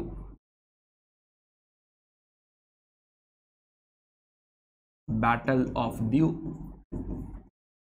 और इस बार इस बार एफडीए विल विन तो ये एक बड़ी जीत हासिल करी इन्होंने राइट बैटल ऑफ़ ड्यू अगली लड़ाई में ये सारे कॉम्बिनेशन को कि हाँ फिर से भाई तीनों लोग फिर से जुड़कर आएँगे एंड इस बार बैटल ऑफ़ ड्यू में एफडीए जीत जाएँगे। तो अपने बेटे की जो है मौत का बदला लेंगे। उसके बाद अल्फोंजो को रिलीज़ करेंगे कि हाँ भाई ठीक है, आप टेक ओवर कर लीजिए। राइट तो technically technically 1508 was the year जब रिलीव हो जाना चाहिए था, but this will continue till 09 an important point is battle of Dew ना इसमें एक लास्ट पॉइंट और ऐड कर रहा हूँ कि यहाँ जो बैटल ऑफ़ द्यू है राइट यहाँ पे महमूद बेगाड़ा को एक फैक्ट्री देनी पड़ेगी कि भाई ठीक है यार द्यू पे फैक्ट्री बना लो आप। यहाँ से भी ट्रेडिंग करो भाई नहीं मना करेंगे आप। तो द्यू पे एक फैक्ट्री भी इनको मिल जाएगी यहाँ पे। तो अभी शुरुआत हुई है कहानी की शुरुआत हुई है भाई कि हाँ जो है यू you नो know, अभी पहले दस साल है दस साल में ही इतना इतना एक्शन चालू हो गया। Now Alfonso will take over Alfonso तो फ्रांसिस्को दी अलमेदा तो Almeida will go back and and जो है now comes Alfonso Alfonso de Albuquerque के राइट तो 1509 टू 1515 तो ये छह साल का दो टेन्योर हो जाएँगे। तो छह साल का रूल है यहाँ पे। छह साल की गवर्नरशिप है हमारे अल्फोंजो की। अल्फोंजो दी अल्बिकोर के So now, now, so Alfonso is known for actually really establishing the empire. ये जो छह साल हैं 1509 से 1515 राइट टेक्निकली ये जो छह साल, ये छह साल रियल एस्टैब्लिशमेंट है। Till 1515 it is Alfonso Alfonso de Albuquerque तो पहले एफडीए है, फिर एडीए है right but Albuquerque famous word है अल्फोंसो भी फ़ेमस वर्ड है, आम आता है अल्फोंसो तो जैसे भी आप रखना चाहें। राइट है ना? तो अल्फोंसो दी एल्बेक्वर के राइट तो ये ये यहाँ पे आ चुके हैं. अब सबसे बड़ी उपलब्धि सबसे बड़ी उपलब्धि इनकी ये है कि ये ये 1510 में 1510 में ये जीत जाएँगे गोवा. कहाँ से? बीजापुर से. तो बीजापुर के राज्य को हराकर गोवा जीतना, ये बहुत बड़ी बात है. राइट है ना? तो गोवा गोवा जीतना जो है इस समय, भाई, अब तक जो हमें फुटहोल्ड मिला था, वो सिर्फ़ ये मिला हुआ था। जो भी पोर्चुगीज अब तक ट्रेनिंग कर रहे थे बिज़नेस वो सिर्फ़ यहाँ से कर रहे थे, मलाबार से कर रहे थे। राइट लेकिन अब अब गोवा भी मिल गया है। तो 1510 में गोवा हाथ लग गया। बीजापुर एक राज्य को हरा दिया। तो बीजापुर को हरा के इन्होंने गोवा ले लिया। सबसे बड़ी उपलब्धि। राइट यहाँ से कहानी और और आगे बढ़ रही है, और बढ़िया बढ़ रही है आगे। प्लस जो जो पिछले वाले को बोला था एडन और मूज और मलक्का को सीज करो, ये सीज भी कर देंगे। Right plus he will also start one system called cartaz system क्या मतलब हुआ? तो टेक्निकली ऐसा लिख लो कि हाँ भाई पोर्चुगीज लेक जो बनाने का वादा था, वो अब पूरा होगा। राइट प्लस प्लस एक कॉन्सेप्ट समझो which is blue water policy blue water policy and cartaz system दोनों बातें समझते हैं। What is blue water policy so now blue water policy blue water policy का मतलब यह है कि भाई देखिए हम लोग आ रहे हैं पुर्तगाल से। Right right, Portugal. अगर आप हमसे ये कहिए कि आप जो है यू नो गोवा मिल गया हमको यहाँ से हम ट्रेडिंग कर रहे हैं ठीक है अच्छी बात है। राइट है ना? बढ़िया कि गोवा और मलाबार दो जगह से ट्रेडिंग हो रही है बिज़नेस चल रहा है अच्छी बात है। बट अगर हम लोग ये सोचें सपने में राइट right, क्या हम ये सोचें कि किसी तरह हम लोग यू नो इंडिया पे अटैक करें और सबको सारे राज्यों को हरा दें और यहाँ पे पोर्चुगल सरकार बना दें। राइट right, पोर्चुगल गवर्नमेंट बिठा दें यहाँ पे। क्या ऐसा हो सकता है? सपने में हो सकता है शायद। रियल में तो नहीं हो सकता। तो दिस इज़ इम्पॉसिबल राइट या फिर या फिर ज़मीन में हम किसी भी तरह स्ट्रांग हो जाए, क्या ये हो सकता है? नहीं। क्यों? क्योंकि यहाँ पे राज्य एग्जिस्ट करते हैं, राजा लोग एग्जिस्ट करते हैं, उनकी सेना है, उनकी पावर है, उनके खिलाफ राज्य के अंदर जाया जा सकता है, मुश्किल है भाई, ठीक है, गोवा जीत गया, अलग बात है बट ओवर एम्बिशियस भी नहीं हो जाना चाहिए, थोड़ा प्रैक्टिकल भी रहना चाहिए तो ये तो हरकत नहीं कर सकते। इसका मतलब अगर हमारा वर्चस्व हो सकता है तो सिर्फ़ और सिर्फ़ पानी में हो सकता है। और पानी में हमको कोई चैलेंज नहीं कर सकता। तो let us strong let us create a system ऐसा सिस्टम बनाओ कि हम पानी में स्ट्रांग रहेंगे हम ज़मीन पे भले स्ट्रांग ना रहे। ज़मीन में हम कितने भी फोर्ट बना ले हमारी स्ट्रेंथ नहीं होगी। बट पानी में अगर हमारे पास हमारे पास अगर स्ट्रैटी है अगर हमारे पास पूरी नेवी है राइट right, तो क्या हम इसे तालाब की तरह ट्रीट कर पाएँगे? Yes this is something we want this is what this is blue water policy ये थॉट प्रोसेस जब भी हम बात कर रहे थे कि हाँ इधर ब्लॉक कर दिया रेड सी को इधर जो है फोर्ट बना दिया अफ्रीका में राइट right, अफ्रीका अफ्रीका में एक जो है फोर्ट बना दिया। इधर के किलेबाजी कर ली मलक्का ब्लॉक ब्लॉक कर दिया। और इस तरीके से पूरा एरिया अपने कंट्रोल में रखो पानी अपने कंट्रोल में रखो that is blue water policy ज़मीन भले अपने कंट्रोल में ना बट पानी अपने कंट्रोल में रखो। अब इसी से कनेक्टेड है cartaz system Cartas. Right, Cartas system is nothing. Let me write properly. Cartas. Cartas system. तो now cartaz system is nothing but but कि भाई अगर अगर लेट से किसी जहाज़ को फॉर एग्जांपल अरब जहाज़ को जाना है कहीं तो उसे पकड़ लो गोवा ले राइट या कहीं भी उसे जाना है तो उसको जाने के लिए लगेगी परमिट परमिशन वो परमिट देगा टैक्स पे करेगा, कुछ पैसा पे करेगा, और उसके बाद ही बाद ही वो कहीं पे बिज़नेस कर सकता है। तो पहले ये अरब जो है इंटरमीडियरी की तरह बिहेव कर रहे थे now Arab has to pay for this intermediary right कि हाँ बीच में उनको पोर्चुगीज को पैसा देना पड़ेगा, तब कहीं जाके वो कोई ट्रेड कर पाएँगे अदरवाइज़ वो कोई ट्रेड नहीं कर सकते। तो अब उल्टा हो चुका है। राइट और यहाँ पे मान लो, आप कहीं सर नहीं देंगे, हम चले जाएँगे, हमारा बिज़नेस है। तो उनके पास तोपे हैं, वो ऐसे जहाज़ उड़ा देंगे। राइट ऐसे जहाज़ डुबा देंगे वो। तो ये बिज़नेस हो ही नहीं सकता। तो टेक्निकली जैसा कि मैं कह रहा हूँ कि हाँ ये तालाब बन गया तो हाँ ये पोर्चुगीज तालाब बन चुका है। Right now now so now अब यहाँ पे देखो इंटेंशन जो है अल्बेक्वर्के का। अल्बेक्वर्के का इंटेंशन है कि इंडिया और basically Goa should be treated as part of Portugal right कि अपना ही देश है, यहीं पे रहो ना। राइट है ना? तो यहाँ पे इनका थॉट प्रोसेस भी यही है कि यहीं पे अपने शिप बिल्डिंग सेंटर बना डालो इंडिया में। प्लस गोवा अपने पास हो ही गया है। तो ही स्टार्ट एडमिनिस्ट्रिंग गोवा ही से कि हाँ सबसे पहले यहाँ सती ब्लॉक कराएगा। क्या ये सती वती क्या करते हो भाई तुम लोग? बंद कराओ सती। तो सती बैन होगा। तो यहाँ का तो उसका पूरा एडमिनिस्ट्रेशन संभाल लिया सती ब्लॉक किया। प्लस अपने लोगों को बोला पोर्चुगीज को बोला कि पुर्तगाल से इंडिया आके बसने लगो। गोवा आओ, यहीं शादियाँ करो, यहीं ज़मीन खरीदो, जमींदार बन जाओ। राइट तो यहीं पे शादियाँ, यहीं पे जमींदारी, यहीं पे फैमिली यहीं पे जो है पार्टी सब यहीं करो। अब ये मत सोचो कि तुम यहाँ पे किसी काम से हो, ये सोचो कि यही हमारा देश है।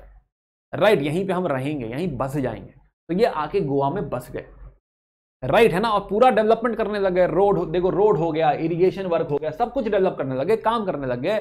जो है लैंडलॉर्ड बन गए यहीं पे। राइट तो कभी आप जैसे गोवा जाएँगे, आप किसी जो है जैसे फोर्ट वगैरह में जाएँगे तो फोर्ट की जो म्यूजियम्स हैं, उसमें आप देखेंगे तो आपको दिखेगा कि हाँ जो है यू नो लोकल्स हैं और पोर्चुगीज भी हैं। है ना, वहीं रह रहे हैं, कुछ भी हो रहा है, वहीं खड़े हैं। राइट इनके कपड़े अलग हैं, उनके कपड़े अलग हैं। राइट तो फ़िलहाल अब ये पहुँच गए। प्लस प्लस पोर्चुगीज इंडिया में नई क्रॉप लेकर आएँगे। जैसे कि वाहियात क्रॉप लेकर आएँगे टोबैको तंबाकू लेके आ जाएँगे भैया। राइट टोबैको प्लस काजू लेके आएँगे, चलो एक अच्छी क्रॉप भी है। काजू लेकर आए cashew nut plus coconut and all की जो है कई कई तरह की वेराइटीज वगैरह उगने लग गई। Right plus plus now a lot of you can say जो है न्यू मेटल वर्क है ना कि silversmith goldsmith right इस तरह के नए नए काम वाले जो है कल्चरल वर्क और बेसिकली मेटल वर्क है ना, जो गहने बनते हैं, बर्तन बनते हैं राइट ये सब चीज़ें भी, ये सब टेक्निक भी लेकर आ जाएँगे। तो जैसा कि मैंने कहा कि नया घर बना है, नया घर। प्रॉब्लम बस इसमें यह है कि इनको शुरू से ही थोड़ी प्रॉब्लम रही है मुस्लिम से। रीजन रीजन क्योंकि वो पहले ही दिन से क्या कह रहे थे? अरब मर्चेंट्स को बंद करो। राइट जो अरब से मर्चेंट है तो टेक्निकली मुस्लिम मर्चेंट जो हैं, उनसे बिज़नेस मत करने दो उनको बिज़नेस मत करवाओ, हमको ही दो बिज़नेस राइट ये उनकी डिमांड थी। तो दैट इज़ द रीजन कि शुरू से ये जो है थोड़ा सा उनको प्रॉब्लम रही है and that is the reason कि अपने राज्य में मुस्लिम्स को प्रोसिक्यूट करेंगे कहा, जहाँ भी उनका वर्चस्व होगा, वो मुस्लिम्स को प्रोसिक्यूट किया करेंगे, मारा करेंगे। Right now now now after this let me take the timeline forward now next relevant governor बीच में एक बार ही गामा वापस आएँगे। Vasco comes back in 1524 Vasco. But यहीं पे इनकी डेथ हो जाएगी, कुछ रेलेवेंस नहीं है इसका। Next relevant governor is Nuno da Cunha right Nuno da Cunha तो ही इज़ एंटरिंग इन 1529 डालते टाइमलाइन पे। तो 1529 से कुछ 1537 तक Nuno da Cunha is there Nuno da Cunha. अब ये भी थोड़ा इंटरेस्टिंग स्टोरी है इनकी। Nuno da Cunha. Right Nuno da Cunha. तो नाउ नाउ तो नीनो दी कुन्हा। तो स्टोरी समझते जरा ये हो क्या रहा है नीनो दी कुन्हा के साथ। तो सबसे पहले इन्होंने कहा कि जो है कोचिन अब तक हेडक्वार्टर था राइट और गोवा लेकिन अच्छा खासा फ्लरिश हो गया है। तो now let us shift the headquarter अब तक हेडक्वार्टर नहीं शिफ्ट हुआ था। तो अब इन्होंने कहा कि भाई अब हेडक्वार्टर शिफ्ट किया जाए राइट और हेडक्वार्टर बनाया जाए गोवा। तो गोवा बिकेम न्यू हेडक्वार्टर किसने किया? कुन्हा ने किया। नीनो दी कुन्हा ने किया। Right now now plus plus what he will say? He will, जो है, he will have a discussion with बहादुर शाह अब थोड़ा सा वापस टाइमलाइन पे जरा मैं आऊँ। और आपको मैं एक और चीज़ थोड़ा सा बता रहा हूँ साइड में। तो अगर आपने मिडिवल पढ़ी है तो बहुत अच्छी बात है। बट नहीं पढ़ी है तो क्विक क्विक व्यू। तो 1526 में 1526 एंट्री हुई बाबर की। राइट right, इनिशियल छोटा सा राज्य 1530 तक का राज्य किसका है? बाबर का है। राइट ना 15 से 30 से 1540 10 साल। कौन राज्य करेगा? इसका बेटा हुमायूं। राइट हुमायूं। तो अभी जो हम बात कर रहे हैं निनोदी कुन्हा की, वो एक्चुअली एक्चुअली हुमायूं के राज्य में। राइट कि हुमायूं आ चुका है। नाउ नाउ लेट्स अंडरस्टैंड तो हुमायूं के राज्य में तो अभी हुमायूं का राज्य यहाँ कहीं छोटा सा राज्य है। ऐसा कुछ। अब हुमायूं के राज्य में आप मेडावल में पढ़ेंगे कि हुमायूं तो जब हुमायूं है यहाँ पे देन देन गुजरात के राजा हैं बहादुर शाह।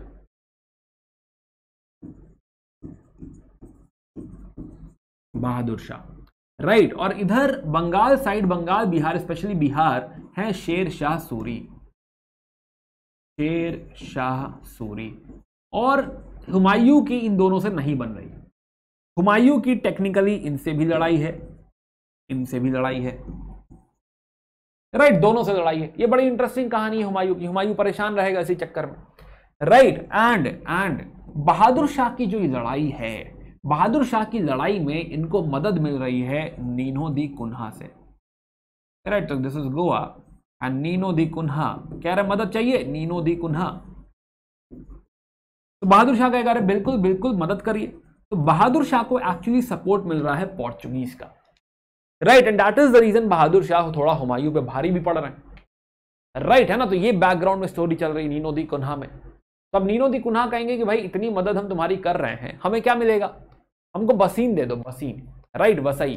तो मुंबई के पास जो है बसीन इनको मिल जाएगा। तो 1534 में बसीन मार जाए जो पालेंगे। राइट right, फिर कहेंगे अरे कहीं खाली बसीन नहीं दीव दो दीव। तो दीव तो दीव भी दीव भी वादा कर देंगे टेक्निकली सरेंडर कर देंगे। राइट कि चलो दीव भी ले जाओ। तो बहादुर शाह जो है कहेंगे हाँ ठीक है दीव ले लो। ठीक है दे दिया दीव बहादुर शाह। बट बट थोड़े ही टाइम बाद ना बहादुर शाह पलटी मार जाएँगे। कहीं ना नहीं देंगे।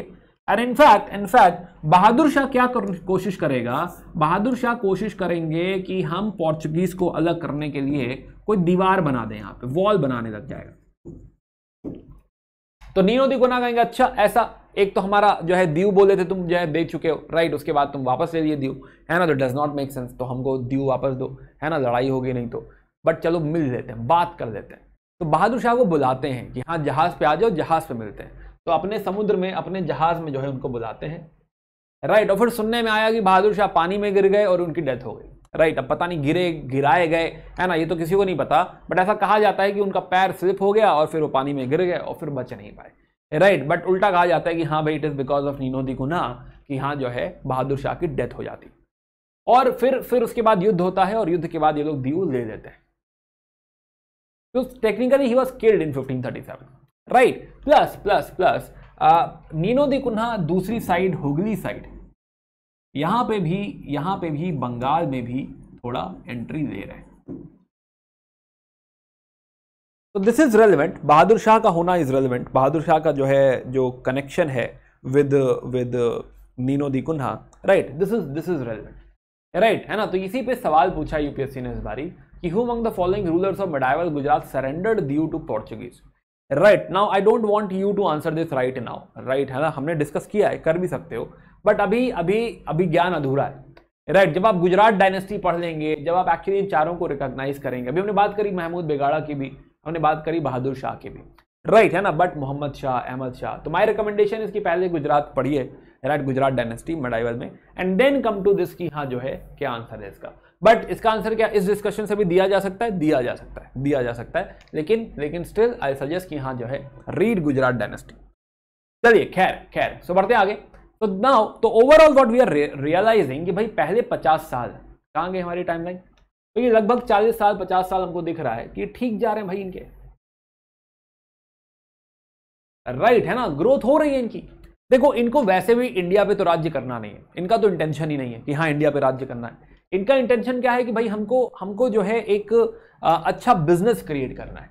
राइट right, बिज़नेस में ट्रेड में जो है हमारा पावर अच्छा खासा। और this is something they want right now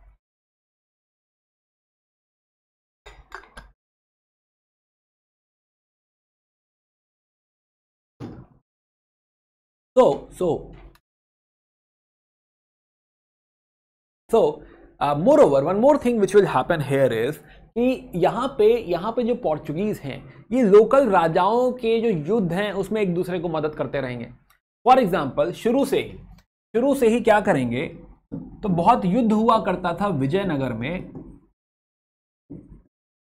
और यहाँ पे जो छोटे छोटे राज्य हैं इनमें बहुत युद्ध हुआ करता था।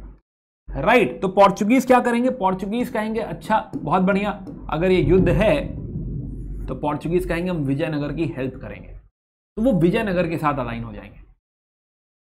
राइट right, तो विजयनगर का होना Vijayanagar is very very strong empire right initially तो नहीं जब ये लोग आए थे बट फ्रॉम 1509 टू 1529 यानी अगेन इनिशियल फ़ेज़ में ही even during the time of Cunha right right, है ना? यहाँ पे जो राजा हैं नहीं कुन्हा नहीं कहना चाहिए कुन्हा तो जा रहे हैं सब कुन्हा तो आएँगे अभी बट हाँ यहाँ पे जो राजा हैं वो हैं कृष्ण देव राया राइट right, तो ये काफ़ी स्ट्रॉन्ग अंपायर है इस टाइम में है ना? काफ़ी स्ट्रॉन्ग अंपायर नाउ इस स्ट्रॉन्ग अंपायर के साथ पोर्चुगीज का होना कहीं ना कहीं पोर्चुगीज के यू कैन से सर्वाइव करने का बड़ा कारण है कि विजयनगर की छत्र छाया में ये लोग आराम से ग्रो कर गए। राइट right, अगर यही कोई ऐसा राजा होता जो उन्हें ना सपोर्ट करता जो उनको देखता कि तोप वोप लेके बदतमीजी कर रहे हैं तो हो सकता है यहाँ पिटाई कर देता। राइट बट क्योंकि इस युद्ध में ये दोनों के युद्ध में ये पोर्चुगीज बहुत मदद कर रहे हैं यहाँ पे। राइट right, तो that is the reason that is the reason कि भाई जो है पोर्चुगीज इजिली यहाँ पे सर्वाइव कर जाएँगे। क्योंकि वो कृष्णदेव राय के साथ है। है ना? कृष्णदेव राय को नहीं चैलेंज कर सकते आप यहाँ पे। तो 20 साल जो इनिशियल 20 साल है जो उनका बडिंग स्टेज है उस बडिंग स्टेज में ये वाला अलायंस काफ़ी ज़्यादा स्ट्रांग है। राइट ना दूसरी तरफ़ ये क्यों सर्वाइव कर रहे हैं? क्योंकि जहाँ पे चैलेंज हो सकता है, वहाँ पे विजयनगर उनका अलाई है। और बाकी सब जो राजा राजा हैं, वो छोटे छोटे राजा हैं। तो इनको कोई चैलेंज नहीं कर रहा दैट इज़ द रीजन कि ये लोग सर्वाइव करते चले जाएँगे। राइट नाउ नाउ दूसरी बात, इनका सर्वाइवल इसलिए भी इसलिए भी हो पाया, इसलिए भी ये लोग सर्वाइव कर पाए रीजन कि इनके पास जो नेवी है, जो टेक्नोलॉजी है, वो किसी और के पास है? नहीं। चाइनीज़ एम्पर ने कहा है कि इस साइड आना नहीं है, ट्रेड नहीं करना है, उनकी अलग कहानी है। राइट तो वो भी कोई, जो कोई कंपटीशन भी नहीं है। तो एक्चुअली कोई कंपटीशन नहीं है। क्या कोई यूरोपियन पावर आ रही? है वो भी नहीं आ रही। स्पेन से पहले ट्रीटी ऑफ़ टॉर्डेसलास हो चुका है कि तुम इधर, हम इधर तो वो पहले ही हो चुका है। तो कोई कंपटीशन है, कोई चैलेंजर है? नहीं। एक अरब मर्चेंट चैलेंज हुआ करते थे, वो बेचारे साइडलाइन हो गए। राइट ये इनके पास कोई टेक्नोलॉजी है ही नहीं। इनके, जो है पोर्चुगीज के पास ये तोपे हैं। Right and that is the reason they will keep on growing right right, तो आप देखो जो पोर्चुगीज का स्टेट क्रिएट हो रहा है तो किनारे किनारे ये लोग पूरा मचा देंगे। स्टार्टिंग फ्रॉम दीव अगर यहाँ आप देखिए। स्टार्टिंग फ्रॉम दीव तो दीव सूरत राइट right, इधर दमन तो ये पूरा एरिया इधर चौल राइट right, है ना दबौल। देन आपका गोवा तो है ही हमने बात करी। देन ये पूरा मलाबार एरिया हम कह रहे थे। इवन श्रीलंका राइट फिर इस साइड पुलिकट है पौंडिचेरी है नागपट्टनम है मुसीली मुसालीपट्टनम है एंड देन इधर हुगली तो all these Hooghly is important तो सारी जगहों पे इधर बालासोर है बालासोर बालासोर राइट अच्छा by the way by the way क्या ये सारी सारी साइट्स हम रट सकते हैं? सारी साइट्स हम नहीं रट सकते. बट यूपीएससी साइट्स पे काफ़ी सवाल पूछता है. राइट right, so मेरा सजेशन है कि थोड़ा सा जब भी टाइम मिले तो साइट्स में उठा के जो है एक बार देखो कि क्या क्या है. ताकि नाम कुछ सुना सुना लगे कि हाँ यार, ये कहीं साइट हमने देखी है। हमने बालासोर कहीं देखा हुआ है। राइट हुगली के पास ये था। सतनाम हमने सुना हुआ है। राइट है ना काली काटा हमने सुना हुआ है। तो कुछ ऐसा सुना सुना लगेगा तो it will be super helpful कि नागपट्टनम है, मसूलीपट्टनम है। राइट है ना कि हाँ ये सब तो ये तो खैर काफ़ी फ़ेमस फ़ेमस है। पुलिकट हो गया। फ़ेमस है ये। बट स्टिल अगर जो फ़ेमस नहीं भी है, बरूच है तो देखो आगरा में कहाँ है। ऐसे करके थोड़ा देखते चलो। तो यू रियलाइज़ कि हाँ भाई, इनका अच्छा खासा फैक्ट्री का स्टैब्लिशमेंट हो रहा है। राइट right, है ना? जगह जगह इस तरीके से स्टैब्लिश होते जा रहे हैं। तो ये जो स्टेट क्रिएट किया है बड़ा स्टेट क्रिएट कर दिया है। राइट नाउ नाउ तो हम बात कर रहे थे कि क्यों सर्वाइव कर गए and they will survive for very very very long अच्छा आगे जाके जब विजयनगर अंपायर थोड़ा डिक्लाइन हो जाएगी तो जो आपके डेकन सल्तनत है यहाँ बताता हूँ मैं आपको। तो हमने बात करी कि पहले विजयनगर अंपायर के साथ है ना? विजयनगर अंपायर से दोस्ती है। और उसके बाद जब विजयनगर अंपायर डिक्लाइन हो गई तो ये जो सुल्तान है, जिसे डेक्कन के सुल्तान कहा जाता है राइट इन सुल्तानों के साथ भी उन्होंने ट्रीटी कर ली। तो 1570 में इनके साथ भी दोस्ती हो गई। तो इनिशियली ये विजयनगर की मदद कर रहे थे, इन्हीं से लड़ने में। आगे जाके इन्हीं से ट्रीटी कर ली। राइट? तो भाई सर्वाइव कर रहे, कौन ही चैलेंज करेगा?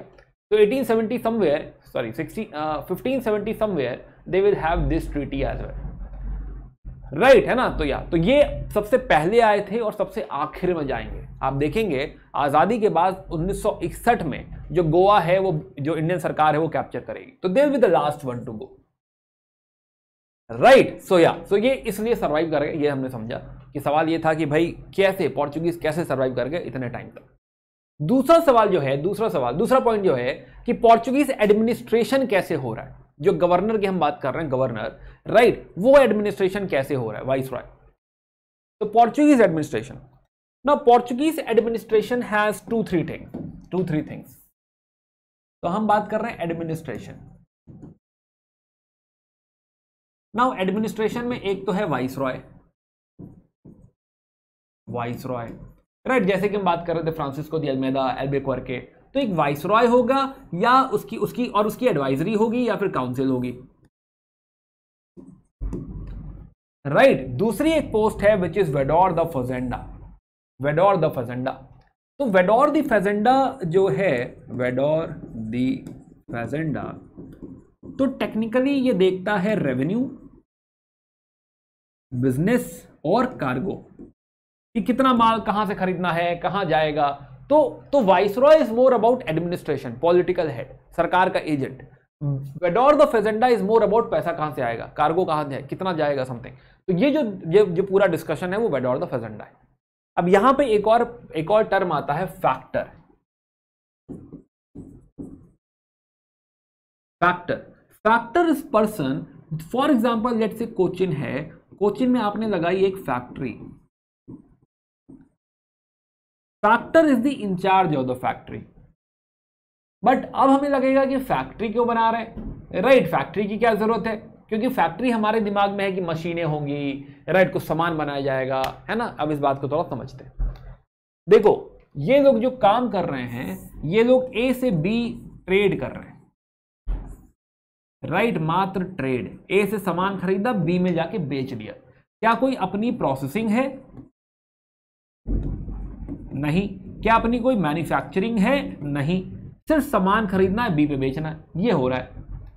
तो फैक्ट्री का मतलब यहाँ पे सिर्फ़ और सिर्फ़ होता है वेयर हाउस तो factory technically is nothing but a warehouse कि हाँ भाई, आसपास का जो भी सामान है वो खरीद के यहाँ रख दिया। राइट और फिर जहाज़ में चढ़ाया और बेच के आ गए। तो फैक्ट्री सिर्फ़ ये है। नाउ फैक्ट्री ग्रेजुअली क्या होने लगेगा कि भाई इतना सारा सामान है, इतना करोड़ों का सामान जैसे हज़ारों लाखों का सामान है यहाँ पे। तो फैक्ट्री में क्या होगा? अब फिर आगे जाके फोर्टिफिकेशन कि भाई इसकी किलाबंदी कर दो। ताकि कोई इस पर अटैक ना कर सके, इसको लूट ना सके। तो देखो, हैं तो ये लोग बिज़नेस के लिए राइट आए तो यहाँ पे ट्रेडिंग के लिए। बट क्योंकि क्योंकि भाई हज़ारों का सामान है राइट कोई चोरी कर देगा, कोई लोकल अटैक कर देगा, एक आध बार हो भी चुका है राइट तो इसके लिए ज़रूरी है कि इसकी सुरक्षा करी जाए। तो इसके लिए ज़रूरी है कि कुछ इसका फोर्टिफिकेशन किया जाए। इसके लिए ज़रूरी है कि हाँ यहाँ पे छोटा मोटा कुछ आर्मी गार्ड टाइप का रखा जाए। जो अगर कोई अटैक होता है तो उसको हैंडल कर सके। अब ये आप कहेंगे कि जेमोरन क्यों एक्सेप्ट करेगा? राइट तो पहले दिन नहीं एक्सेप्ट करेगा। पहले दिन कोई भी राजा एक्सेप्ट नहीं करेगा। बट ग्रेजुअली ग्रेजुअली ऐसा जस्टिफिकेशन दे दे के कि हाँ सिक्योरिटी इशू है लोकल्स अटैक कर लेते हैं, चोर आ जाता है तो हमको एक दीवार बना लेने दो। कहेंगे अच्छा बना लो। फिर कहेंगे, एक और बना लेने दो। कहेंगे, बना लो। फिर कहेंगे अच्छा पूरा ही कर लेने दो। कहेंगे, कर लो। फिर कहेंगे, दस आदमी रखने दो। क्या अच्छा रख लो। फिर कहेंगे, यार और ज़रूरत है, बीस रख लेने दो। तो ग्रेजुअली धीरे धीरे एक्सेप्टेंस के साथ they will have fortification they will have army and this is how this is how जब हम फैक्ट्री कहते हैं कि कहीं फैक्ट्री स्टैब्लिश हो गई तो then it's a secure place पहले खाली बिज़नेस होगा, फिर वहाँ कहीं फोर्ट वोट बना देंगे। कभी कोई किला खरीद लेंगे कि हाँ ये किला हमारा हो गया। Right so this is how this is how the business will proceed okay खैर, थोड़ा टेक्निकल टर्म भी समझना ताकि हम समझते चलेंगे हाँ कहीं ज़रूरत पड़े। ना एक छोटा सा कॉन्सेप्ट है religious policy of the of the Portuguese कि religious policy of the Portuguese इसलिए इंपॉर्टेंट है क्योंकि पुर्तगाल कहता है कि वो क्रिश्चियन डम का हेड है। क्रिश्चियनिटी का वो हेड है। क्रिश्चियनिटी स्प्रेड करेगा। तो क्रिश्चियनिटी स्प्रेड यहाँ भी करेगा। दूसरी इंपॉर्टेंट बात उसकी मुस्लिम से दुश्मनी है पहले ही दिन से। राइट right, तो चाहे वो नॉर्थ अफ्रीका के मूर्स हो या अरब्स के मूर्स हो यानी मुस्लिम्स तो वो मुस्लिम्स के खिलाफ एक बात। राइट right, एंड जैसा कि हमने समझा क्रिश्चियनिटी स्प्रेड करना काफ़ी इंपॉर्टेंट है। अब इसमें एक इवेंट आती है Goa inquisition right Goa inquisition this is fifteen तो फ्रांसिस जेवियर तो Francis Xavier came to India right है ना? जो है, Francis Xavier came to India and he was he came to India because कि हाँ उन्हें क्रिश्चियनिटी स्प्रेड करनी है इंडिया में भी स्प्रेड करनी है। और जब वो यहाँ पहुँचे तो उन्होंने रियलाइज़ किया कि इवन जो पोर्चुगीज क्रिश्चियंस हैं, अब वो भी अपना धर्म फॉलो नहीं कर रहे हैं। राइट वो भी जो है प्रॉपर क्रिश्चियनिटी फॉलो नहीं कर रहे हैं। तो उन्होंने फिर ये चिट्ठियाँ लिखी, बोला कि भाई जो है ये सही प्रैक्टिस नहीं है we need to do something ये फिक्स करना होगा। और जो बाकी के धर्म के जो लोग हैं, उनको कन्वर्ट करना है if possible and all right है ना परसिक्यूशन शायद, पर वो, उन्होंने परसिक्यूशन सजेस्ट नहीं किया। बट जो अथॉरिटी है, उन्होंने कहा कि हाँ ठीक है पुश करना पड़ेगा। And this Goa inquisition started somewhere in 1542 जिसमें हिंदू, मुस्लिम को सबको मारा गया। एंड नॉट ओनली देम अगर कोई क्रिश्चियन है और वो क्रिश्चियनिटी को फॉलो नहीं कर रहा है राइट तो उसके साथ भी, उसके साथ भी यहाँ पे अत्याचार हुए कि किसी को जो है पहिए में बाँध के पहिया पूरा घुमा दिया गया कि हाँ सारी हड्डियाँ उसकी टूट जाएँ। राइट यहाँ पे आप देख रहे हो कि हाँ जो है यू नो किसी महिला को उस पर बाँध दिया गया किसी पुरुष को बाँध दिया गया है और इसको आग में फेंकने जा रहे हैं। कई बार बच्चों को जो है सामने मारा गया, बोला पेरेंट्स को बोला कि देखो इन्हें कि तुम गलत कर रहे थे तो इसलिए ऐसा हो रहा है। राइट तो लॉट ऑफ़ एट्रोसिटीज़ जो है यहाँ पर हुई हैं अंडर अंडर दिस थिंग तो इसमें जो जो रिस्पॉन्सिबल पर्सन माने जाते हैं कि हाँ जिनके इंडिकेशन ऐसा हुआ is Francis Xavier right though Francis Xavier is not behind the जो है you can say act Francis Xavier is more like कि वो क्रिश्चियनिटी स्प्रेड करने आए थे. राइट right, और उसके बाद वो चाइना भी जाते हैं वहीं पे उनकी डेथ हो जाती है. And then then China actually China पे डेथ नहीं होती उनकी ग्वांगझाओ में डेथ हो जाती है. चाइना जाना चाहते थे वो. राइट right, और फिर वहाँ से उनकी डेड बॉडी को वापस लेकर आते हैं और उनकी डेड बॉडी अभी इंडिया में ही है. तो उनकी डेड बॉडी एक चर्च है बॉम्बडी basilica let me show you या सो दिस बॉम्ब डी बैसिलस तो इस चर्च में अभी भी फ्रांसिस जेवियर की बॉडी रखी गई है प्रिजर्व करके. राइट right है ना फ्रांसिस जेवियर यहाँ पे है. चलो खैर, वापस आते now now coming back so religious policy of the Portuguese तो एक तो ये है कि हाँ जो उनका इलाका है, उन्होंने कोशिश करी है कि क्रिश्चियनिटी को स्प्रेड किया जाए और बाकी धर्म के लोगों के साथ अत्याचार भी हुए हैं. Right right. दूसरा दूसरा पोर्चुगीज ने कोशिश करी है कि किसी तरीके से हम अकबर को मौका मिला है तो अकबर को कन्वर्ट कर दें। अब होता क्या है? एक वापस एक टाइमलाइन को लेकर आते हैं।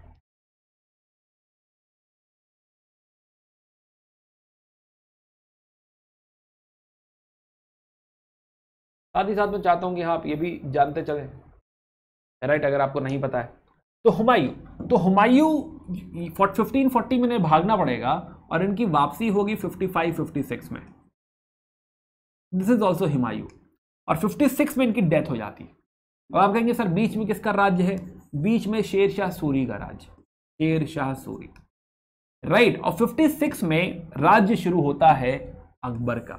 तो रफली आप समझिए 1550 से समझ लीजिए कि 1550 की बात कहीं पे। तो 1556 से 1605 लंबा राज है भाई लगभग 50 साल का राज्य है। दिस राज्य दिस होल होल जो है reign is of Akbar right right, ये पूरा राज्य किसका राज्य है? अकबर का राज्य है। ना अकबर अकबर के मन में क्या आया? अकबर के मन में आया कि मुझे बाकी धर्मों को भी समझना है। देखो अकबर क्या थे ना अपने अपने धर्म में उनको बहुत पहले रुचि हुआ करती थी। राइट है ना कि हाँ इस्लाम में बहुत उनको रुचि थी सूफिज्म में भी बहुत रुचि थी उनको। बट धीरे धीरे जब उन्होंने बाकी धर्मों को जाना gradually he started to become liberal उन्होंने कहा कि बाकी धर्मों को भी जान लेते हैं कि क्या होता है। तो उन्होंने बाकी धर्म के लोगों को बुलाया कि जरा अपने जो है पोर्चुगीज को भी बोला कि आप किस, अपने क्रिश्चियन जो आपके हेड हो, उनको भेजिए, मुझे क्रिश्चियनिटी समझना है। राइट ऐसा बोला कि मुझे क्रिश्चियनिटी समझना है। तो पोर्चुगीज को लगा कि यही मौका है। अगर अकबर, क्योंकि अकबर तक आते आते राज्य बड़ा हो चुका है। राइट अकबर का राज्य आपको दिखेगा तो अकबर का राज्य बड़ा राज्य है भाई। राइट अकबर तक आते आते एक बड़ा राज्य क्रिएट हो रहा है इस समय। तो अब पोर्चुगीज को लगेगा यहाँ पे कि भाई, अगर अकबर को कन्वर्ट कर दिया क्रिश्चियनिटी में तो बात बन जाएगी, मज़ा ही आ जाएगा। Right and that is something they want तो कहेंगे अच्छा भाई, ठीक है तो भेजेंगे अपने मिशन तो अपने जो है जीसस फादर जेसूट फादर्स को भेजेंगे। तो पहले एक्वा बीवा मोन्सलाते आएँगे। राइट एक और मिशन भेजा जाएगा। राइट फिर एक और मिशन भेजा जाएगा। But but they were never able to never never able to convert because Akbar का इंटेंशन ही नहीं था. अकबर खाली जानना चाहते थे कि बता दो यार क्या होता है तुम्हारे धर्मों में. राइट right, तो इबादत खाना. तो इबादत खाना में जो है सारा डिस्कशन हुआ मीटिंग हुआ बट क्या अकबर कन्वर्ट हुए? ऑफकोर्स नॉट इन्होंने जहांगीर के टाइम में भी कुछ कोशिश करी कि हाँ भाई जो है यू नो कन्वर्जन हो सके. But overall overall Jahangir Jahangir जो है भी लिबरल ही हैं. इन्होंने कहा कि भाई आपको जो फॉलो करना है फॉलो करिए। आगरा में जो है, जो रिलीजन आपको फॉलो करना है फॉलो करिए। राइट इनफैक्ट आगरा में कुछ बीस लोगों को कन्वर्ट किया गया एंड दैट शोज़ कि जहांगीर इज़ लाइक कि हाँ अगर कोई अपनी खुशी से कन्वर्ट हो रहा है तो इट्स ओके राइट अब जहांगीर का राज्य कहाँ है, आप कहेंगे? तो जहांगीर अकबर को उनके बेटे सक्सीड करेंगे 1605 में, और जहांगीर का राज्य रहेगा 1628 तक।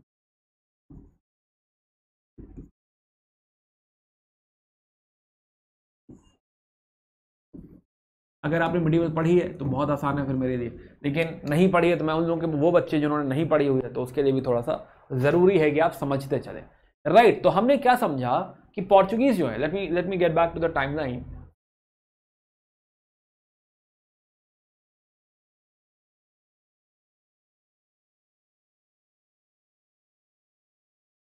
तो पोर्चुगीज जो है आप समझिए तो काफ़ी लंबे टाइम तक राइट right, है ना? 1600 की हम बात कर रहे हैं कि हाँ 1605 में अकबर की डेथ हो रही है। थोड़ा पहले लिख दे रहा हूँ। 1605 में अकबर तक अकबर की डेथ हो रही है। स्टार्टिंग फ्रॉम 1498 100 साल से ज़्यादा समय बीत चुका है और इन्हें कोई चैलेंज नहीं कर रहा है। राइट right, कोई कंपटीशन नहीं है कोई चैलेंज नहीं है। आराम से राज्य कर रहे हैं लोग। राज्य मतलब बिज़नेस ट्रेड कर रहे हैं। कोई रोकने वाला ही नहीं है। तो Portuguese technically till this point have not faced anything right have not faced any competition कहानी शुरू होती है 1600 के बाद। राइट right, 1600 के बाद कहानी शुरू होती है। समझते हैं यहाँ से आगे क्या होता है। तो ना तो सबसे पहले इनकी मुगल से पहले तो अशोक जो है अकबर बुला रहे उनके उनको कि खुद ही अपने जो जो जीसस फादर हैं जेजुट फादर्स उनको भेज दीजिए।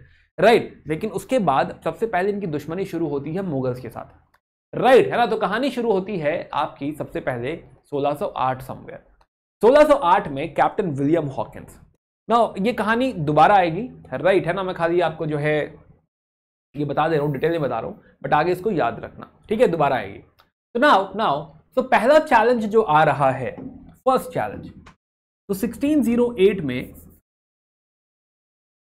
1608 में आते हैं कैप्टन विलियम हॉकिंस तो अब अंग्रेज़ ट्राई कर रहे हैं। दिस इज़ ब्रिटिश तो अंग्रेज़ों ने अपना एक दूध भेजा कि हम लोग भी बिज़नेस करना चाहते हैं। बैकग्राउंड बताऊँगा थोड़ी देर में बट अभी पहले ही खत्म कर दें। राइट तो अंग्रेज़ों ने अपना एक दूध भेजा कि भाई जो है, जाओ और बात करो बात करो जहांगीर से, राजा से मिलो। राइट है ना? और जो है, बात करो कि हमें ट्रेड कैसे करना है। राइट कुछ हमको परमिशन दे दो, कुछ हमें, हमको ऐसा फरमान दे दो तो जाके परमिशन मांगो। तो 1608 में कैप्टन विलियम हॉकिंस अंग्रेज़, अंग्रेज़ों के राजा जेम्स वन किंग की चिट्ठी लेके पहुँचे जहांगीर के पास। राइट है ना कि जो है भाई जहांगीर जी यू नो हमारे पास हम चाहते हैं कि हम यहाँ पर ट्रेड करें। तो पहले तो पोर्चुगीज ने काफ़ी रोका। उस समय फादर पिनहीरो वहीं थे, उन्होंने कहा, नहीं नहीं, जाने मत देना, रोको इसको। जो पोर्चुगीज अथॉरिटी है, उन्होंने भी रोका उन्हें कि, नहीं नहीं, इनको मत जाने दो। Right but somehow Hawkins पहुँच गए। हॉकिंस पहुँचे जहांगीर के पास। राइट जहांगीर से मिले। अब हॉकिंस को तुर्की आती है। राइट और जहांगीर को तुर्की आती है। तो दोनों, अब सोचो किसी ट्रांसलेटर की ज़रूरत ही नहीं है। दोनों एकदम मज़े से बातें कर रहे हैं। जहांगीर कह रहा है, अरे तुम मेरा तुर्की खान है, खान दोस्त है इंग्लिश खान इंग्लिश खान है। राइट है ना, उनको नाम दिया कि इंग्लिश खान, कितना बढ़िया तुमसे बात होती है। दोस्त है तुम मेरा, यारों का यार है। बोलते ना कि इंग्लैंड से आया, मेरा दोस्त दोस्त को सलाम करो। तो यहाँ पे सलाम हो रहा मस्ती हो रही है, बढ़िया। राइट तो फ़िलहाल Jahangir is very happy talking to him तो ओवरऑल ओवरऑल कुछ दिन रुके भी यहाँ पे, जो है 1608 समवेयर आ रहे हैं ये, और 1611 तक रहेंगे। राइट तो तीन साल यहीं रहेंगे अब वो। क्योंकि जहांगीर को परसुएट करना है, जहांगीर को कन्विंस करना है। राइट तो अभी जहांगीर से कहेंगे कि जो है, राजा साहब हमको जो है बादशाह हमको जो है, एक परमिशन चाहिए। पूछेगा जहांगीर, क्या क्या चाहिए? कहेगा हमको सूरत में फैक्ट्री लगानी है। राइट सूरत में फैक्ट्री लगानी है। Now the point is Jahangir can not say yes और नो रीजन कि भाई भाई तालाब है किसका? पोर्चुगीज का। राइट क्या पोर्चुगीज ट्रेड करने देंगे? बहुत दिक्कत है, बहुत ज़्यादा दिक्कत है। राइट तो अगर जहांगीर थोड़ी देर के लिए कह देंगे हाँ। बट जो पोर्चुगीज अथॉरिटीज वो कहेंगे, हम ट्रेडिंग ट्रेड ही नहीं करने देंगे, बात ही नहीं बनेगी। तो पोर्चुगीज यहाँ पे जहांगीर के हाँ ना कहने से कोई मतलब नहीं है। राइट बात नहीं बनने वाली। So so meanwhile meanwhile बाकी तरीके से ये खूब ध्यान रखेंगे जो है विलियम का। विलियम से कहेंगे कि भाई तुम मनसबदार बन जाओ, तुम्हें हम सैलरी वैलरी देंगे। अब what is mansabdar? Let's discuss in मेडाइवर right mansabdar बन जाओ, तुम हम तुम्हें सैलरी जो है देंगे। राइट तीस हज़ार महीना दिया करेंगे तुमको। राइट प्लस शादी भी करा देंगे अपने जानने वाले से, मुबारक शाह की बेटी से। राइट है ना? तो जो है overall overall treatment is good but क्या बट क्या परमिशन मिल पाई? क्या काम बना? ना। काम नहीं बना 1611 में वापस चले गए। राइट हमें लगा बात बच गई पोर्चुगीज बच गए यहाँ पे। बट बट देन 1612 में अंग्रेज़ों ने अंग्रेज़ों के एक जो है कैप्टन है कैप्टन बेस्ट और ये है बेस्ट बेस्ट ने क्या किया? हरा दिया भाई। तो अंग्रेज़ों का एक शिप है Dragon led by captain Best और इन्होंने पोर्चुगीज फ्लीट को हरा दिया। Right this is this is 1612 तो 1612 में पोर्चुगीज हार गए।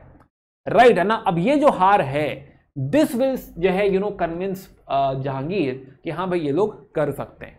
पॉसिबल है। और तब कहीं जाके जहांगीर परमिशन देंगे कि 1613 में अंग्रेज़ों को परमिशन देंगे कि ठीक है जा सिमरन जा जीत ले अपनी ज़िंदगी जी ले अपनी ज़िंदगी। राइट तो 1613 में ही विल से कि चलो ठीक है सूरत में फैक्ट्री लगा लो। कोई बात नहीं बहुत बढ़िया। राइट right, है ना तो now now he will give the permission की जाओ भाई लगा लो परमिशन जो है, है फैक्ट्री बना लो भाई अपनी। Right meanwhile meanwhile Portuguese अब जहांगीर से भी नाराज़ है कि ये तो अलग परमिशन दिए दे रहा है। तो अभी जहांगीर के कुछ ट्रेडिंग शिप्स थे, उनको सीज कर देंगे। राइट जहांगीर गुस्से में आ जाएँगे, क्या ये क्या बदतमीजी हो गई? राइट अरे तुम लोगों का झगड़ा हुआ, तुम नहीं संभाल पाए, मेरे लिए तो ट्रेडिंग पार्टनर ही हो, क्या ही फ़र्क पड़ता है मुझे? तो then Jahangir will send Mukarrab Khan, कि जाओ जरा पैसा निकाल के लेके आओ इतना नुकसान हुआ है। तो यहाँ से सोचो तो पहली बात तो चैलेंज आ गया है पोर्चुगीज के लिए। और दूसरी बात दूसरी बात कि हाँ जो है, जो फेवर था, अब वो फेवर जा चुका है। राइट जहांगीर की नज़रों से गिर गए लोग। है ना? जहांगीर अब जो है पोर्चुगीज को बहुत सपोर्ट नहीं कर सकता। कहेगा, अंग्रेज़ी ठीक है यार, कम से कम तमीज से बात तो करते हैं। राइट है ना? So this this is something where they will lose favour of Jahangir. But then Jahangir के बेटे हैं शाहजहां। वापस। तो आफ्टर जहांगीर कम्स शाहजहां। अब शाहजहां का जो राज्य है, ये 1658 तक है।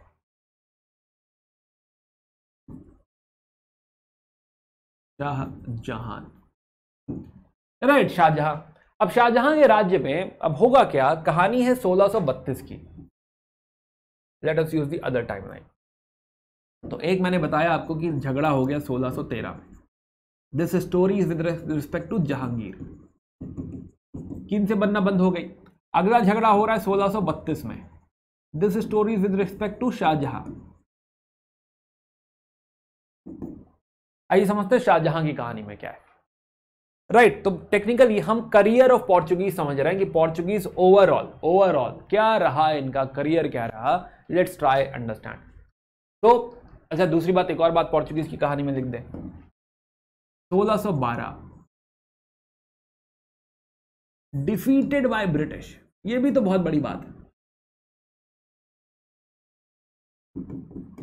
ये भी तो बहुत बड़ी बात है ना। तो 1612 defeated by British right so this is this is the complete career of Portuguese but 1632 की स्टोरी कंप्लीट करते हैं, ये 1632 now in 1632 what is happening तो 1632 समवेयर तो ये कहानी है हुगली की, बंगाल की. बंगाल. नाउ हुगली फ्लरिश हो रहा है, ये लोग हुगली से ट्रेड कर रहे हैं. बट सबसे गलत काम यहाँ पे क्या कर रहे हैं? यहाँ पे लोगों ने क्रिएट कर दी है मोनोपोली बहुत सारी चीज़ों में. कह रहे हैं कि सॉल्ट हम ही बनाएँगे। राइट कह रहे टोबैको में मोनोपोली है मोनोपली टोबैको प्लस कह दिया कि हमारा कस्टम हाउस है भाई, हमारा कस्टम हाउस है। सारे लोग जो यहाँ पर ट्रेड करेंगे, हमको पैसा देंगे। तो इस तरह का पूरा यू नो मन मर्ज़ी चल रही है इनकी कहाँ पे? हुगली में। राइट है ना, हुगली, बंगाल एरिया तो बंगाल एरिया में इनकी इस तरीके से मनमर्जी चल रही है। राइट अब इसमें इन्होंने एक और काम शुरू किया स्लेव ट्रेड अब जो गरीब हैं उनके बच्चों को खरीदा स्पेशली गर्ल्स राइट उनको खरीदा क्रिश्चियनिटी में जो है कन्वर्ट किया और फिर जाके बेच दिया। कुछ इस तरीके का इन्होंने स्लेव ट्रेड चालू कर दिया यहाँ पे। राइट right, है ना? नाउ नाउ गलती से ये जो जो सेव ये खरीदते थे उसमें उसमें उन्होंने शाहजहां की वाइफ शाहजहां ने ताजमहल बनवाया था अपनी वाइफ मुमताज़ महल के लिए। हाँ तो मुमताज़ महल। राइट तो मुमताज़ महल मुमताज़ महल की दो लड़कियों को दो सेव गर्ल्स को ये लोग कैप्चर कर ले गए। तो मुमताज़ महल गुस्सा हो गई क्या जी सुनते हो, भाई क्या हो रहा है ये? देखते क्यों नहीं? कुछ करते क्यों नहीं? राइट है ना तो शाहजहां इस कि, यार वाइफ से डांट पड़वा दी इसने। अभी रुको, सही करता हूँ। तो now he will ask he will ask his जो है कमांडर कासिम खान, जो गवर्नर ऑफ़ बंगाल है, कहेंगे, जाओ भाई सीज करो पूरा पूरा हुगली सीज कर दो। निकालो इन लोगों को यहाँ से। है ना, ये लोग कुछ भी कर रहे हैं कि हाँ अपनी मोनोपली कर रहे हैं कस्टम हाउस वगैरह बना दिया तो भगाओ इनको यहाँ से, हुगली से भगा दो इन लोगों को। राइट तो now Qasim Khan will attack right तो इधर से भी लोग मारे जाएँगे, उधर से भी बहुत सारे लोग प्रिजनर ऑफ़ वॉर कैप्चर हो जाएँगे। Right so this is how this is how they lose the favour of Mughals तो अंग्रेज़ों से भी हार गए, और जो सबसे बड़ा जो राजा है, जो सबसे बड़ी सल्तनत है यहाँ पे राइट है ना? चाहे वो आपके जहांगीर हो, चाहे वो शाहजहां हो, इन दोनों से भी नहीं बन रही। दोनों से ही नहीं बन रही है। तो अब पोर्चुगीज यहाँ पे सर्वाइव नहीं कर सकते। राइट इधर उधर छोटा मोटा ट्रेड करते रहेंगे बट जब कहते ना कि पानी में मगरमच्छ से बैठ ले लिया है तो क्या ही तैरोगे? राइट नहीं तैर पाओगे। साइड में बस पानी पीते रहो, बस कुछ नहीं कर सकते। तो जहांगीर और शाहजहां दोनों से जो बैर लिया है now this is like end of their story right उसके आगे कोई रेलिवेंस इनका रहेगा नहीं। So so this is the story of Portuguese कहानी और आगे बढ़ाते हैं। थोड़ा पोर्चुगीज लंबी कहानी है, क्योंकि बैकग्राउंड भी है, और प्लस जो है प्लस इस्टेब्लिश करना है पहली बारी। राइट तो या तो इस टाइमलाइन को और आगे ले चलते हैं। और मुझे उम्मीद है कि अब आपको अच्छा we can skip this timeline right हम खाली अब मुगल्स की टाइमलाइन आगे ले चले तो बात बन जाएगी। अब क्विक रिवीजन एक बार फिर से याद दिला दूँ। We started with Vasco da Gama 1498 right और उसके बाद इनिशियल थोड़ा फाइट हुई है और मलाबार में स्टैब्लिशमेंट हुआ है। Under Cabral and Vasco right उसके बाद हमने बात करी एफडीए की। राइट फ्रांसिस्को दी अलमियदा जिन्होंने दो लड़ाइयाँ लड़ी, एक आपकी चौल पे, एक आपकी दीव पे और फाइनली फाइनली उसके बाद इन्होंने कहा कि हम वापस जा रहे हैं। बाई दी उनकी रस्ते में डेथ भी हो गई थी। Right then then came your then came your Alfonso Alfonso ने गोवा कैप्चर कर लिया बट मोस्ट इंपॉर्टेंटली इन्होंने राज्य यहाँ पे स्थापित किया है। ब्लू वाटर पॉलिसी काटा सिस्टम और पोर्चुगीज ये तीनों ही चीज़ें इन्होंने बनाई। राइट तीनों ही आपस में कनेक्टेड है। फिर वास्को वापस आए बट कोई रेलिवेंस नहीं उनकी। देन नीनो दी कन्हा का जो टेन्योर है, हमने जाना कि इसमें Nino da Cunha Bahadur Shah को मार देंगे। Right first of all Bahadur Shah लिख लो इसी में।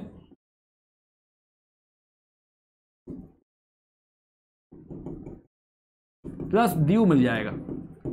राइट है ना? दो चीज़ें, दो इंपॉर्टेंट चीज़ें यहाँ पे। बहादुर शाह को मारा और फिर जो है, उसके बाद युद्ध हुआ और दीव उन्होंने ले लिया। Right and then we realise कि हाँ अंग्रेज़ आ चुके हैं 1608 में चैलेंज कर दिया राइट हॉकिंस आ चुके हैं और 1612 में अंग्रेज़ उनको हरा भी देंगे। 1613 में जहांगीर से भी जो है जो है यू नो उखड़ा उखड़ी हो गई है और 1632 में शाहजहां से भी उखड़ा उखड़ी हो गई है। तो अब कोई करियर यहाँ पे रह नहीं रहा है, कुछ बच नहीं रहा है यहाँ पे। तो I hope you got this point right कहानी और आगे बढ़ाते हैं। आगे चलते हैं। तो अब बात करते हैं कि पोर्चुगीज का तो वर्चस्व साइड हो गया। Right but then decline of the Portuguese mostly we have discussed एक आध पॉइंट बस मैं और ऐड करना चाहूँगा कि जो बची खुशी खुची खसर सॉरी बची खुची खसर जो कसर जो रह गई थी राइट right, है ना? वो कहाँ पे खत्म हो जाती वो भी बात कर लेते हैं। कि क्यों डिक्लाइन होता जा रहा है?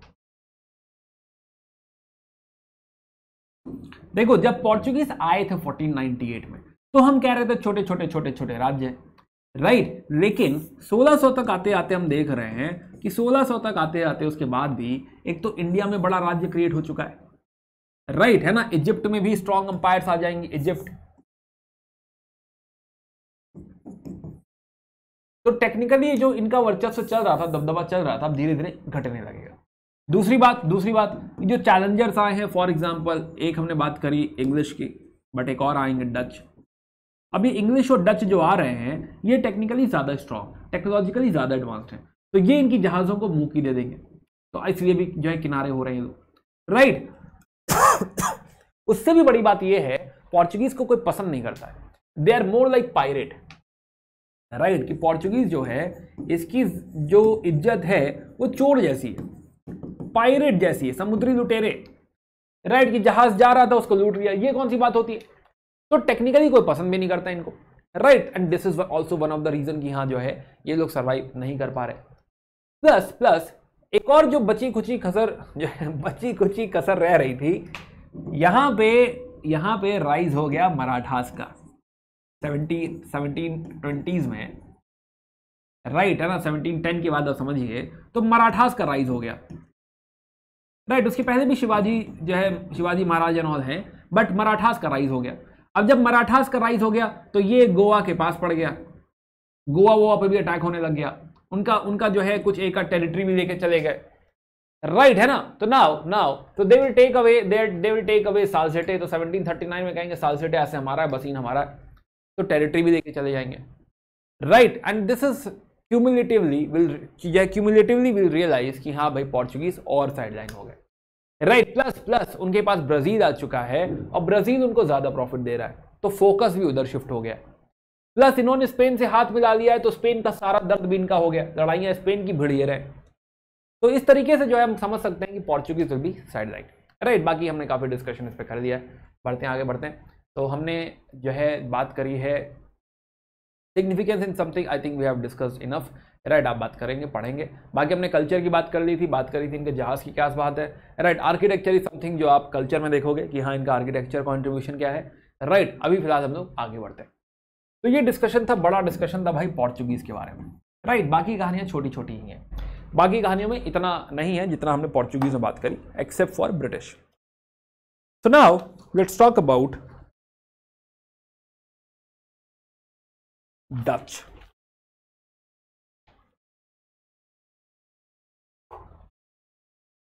Dutch तो डच तो डच की जो कहानी है राइट डच की कहानी होती, शुरू होती 1602 में। 1602 में इन्होंने कहा कि हम भी भाई इतना बढ़िया बिज़नेस कर रहे हैं पोर्चुगीज तो हम लोग भी करते राइट right, है ना? वाई नॉट हम लोग भी अपना बिज़नेस शुरू करें। हम लोग भी क्यों ना जाके इंडिया ट्रेड करें। Right so they will be like कि हाँ जो है we should also go and do the business तो 1602 में सेटअप करेंगे वो अपनी सबसे पहले जो है company right sixteen zero two somewhere DEIC Dutch East India Company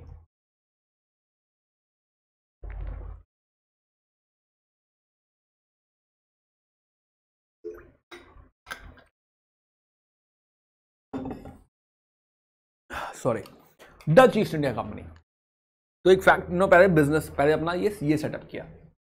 फिर उन्होंने कहा कि हाँ भाई चलो, चलते हैं इंडिया चलते हैं। नाउ डच यू रियलाइज़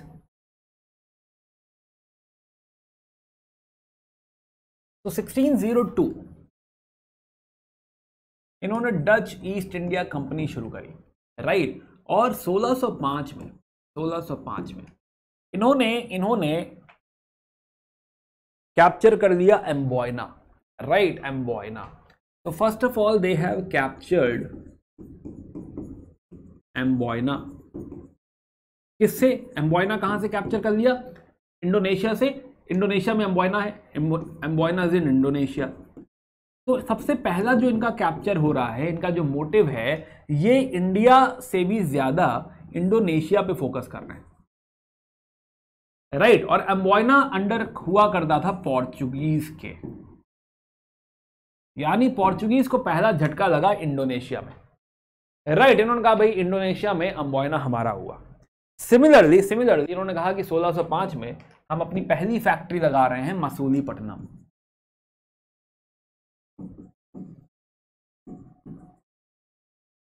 तो मसूलीपट्टनम में इन्होंने पहली फैक्ट्री भी स्टैब्लिश कर दी। राइट नाउ लाउ लेट्स अंडरस्टैंड तो मसूलीपट्टनम। तो इन्होंने कहा कि भाई जो पोर्चुगीज हैं उनका यहाँ बहुत अच्छा वर्चस्व है यहाँ बहुत अच्छा वर्चस्व है यहाँ भी बहुत अच्छा वर्चस्व है। ओवरऑल इधर भी ये लोग छाए हुए हैं श्रीलंका एंड ऑल तो कुछ सेफ़ स्पॉट अगर बच रहा है तो मसूलीपट्टनम। राइट right, यहाँ पे हम थोड़ा इजीली कंपैरेटिवली एंटर कर पाएँगे। तो Masulipatnam became the first factory कि हाँ डच ने डिसाइड किया कि यहाँ से कहानी शुरू करते हैं। तो मसूलीपट्टनम। देन देन या तो इन्होंने पहली फैक्ट्री लगा दी और पोर्चुगीज को पहला थ्रेड पहला झटका यहाँ से लगना शुरू होता है। Right now now after that gradually they will keep on expanding again again detail important नहीं है because because it is Dutch Portuguese पहले थे इसलिए बहुत इंपॉर्टेंट हो जाते हैं। ब्रिटिश आगे कंटिन्यू करेंगे इसलिए बहुत इंपॉर्टेंट हो जाते हैं। बट डच और फ्रांस हम लोग के लिए बहुत इंपॉर्टेंट नहीं है क्योंकि दोनों ही सर्वाइव तो कर नहीं पाएँगे। Right right? है ना? तो यस yes, तो समझते हैं। तो now they will establish a lot of factories for example ये भी सूरत पहुँचेंगे। सूरत इंपॉर्टेंट है भाई? सूरत सबके लिए इंपॉर्टेंट है। तो सूरत में भी फैक्ट्री लगा देंगे। बिमली पट्टनम कराईकाल, चिनसूरा, बरानगर, कासिम बाज़ार, मुर्शिदाबाद एटसेट्रा एटसेट्रा नाउ एक मैं आपको रफ आइडिया दूँ अबाउट अगर पोर्चुगीज के एस्टैब्लिशमेंट्स राइट तो इनका जो एस्टैब्लिशमेंट है ग्रेजुअली बढ़ते बढ़ते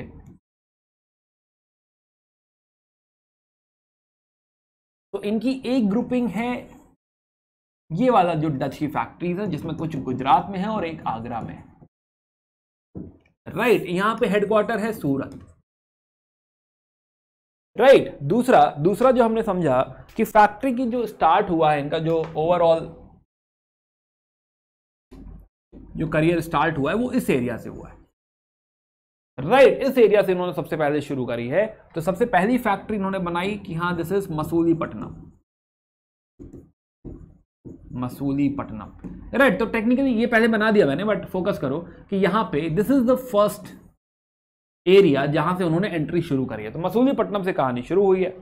राइट right, उसके बाद उसके बाद जो है एक जगह है Nizampatnam. Nizampatnam.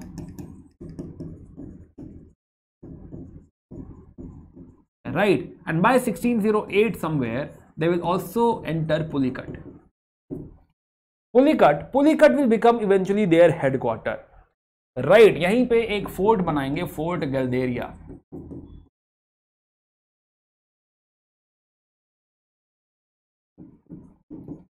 right fort galderia and this is happening in 1608 1610 1610 fort galderia this will become their headquarter. So pulicat becomes very very important.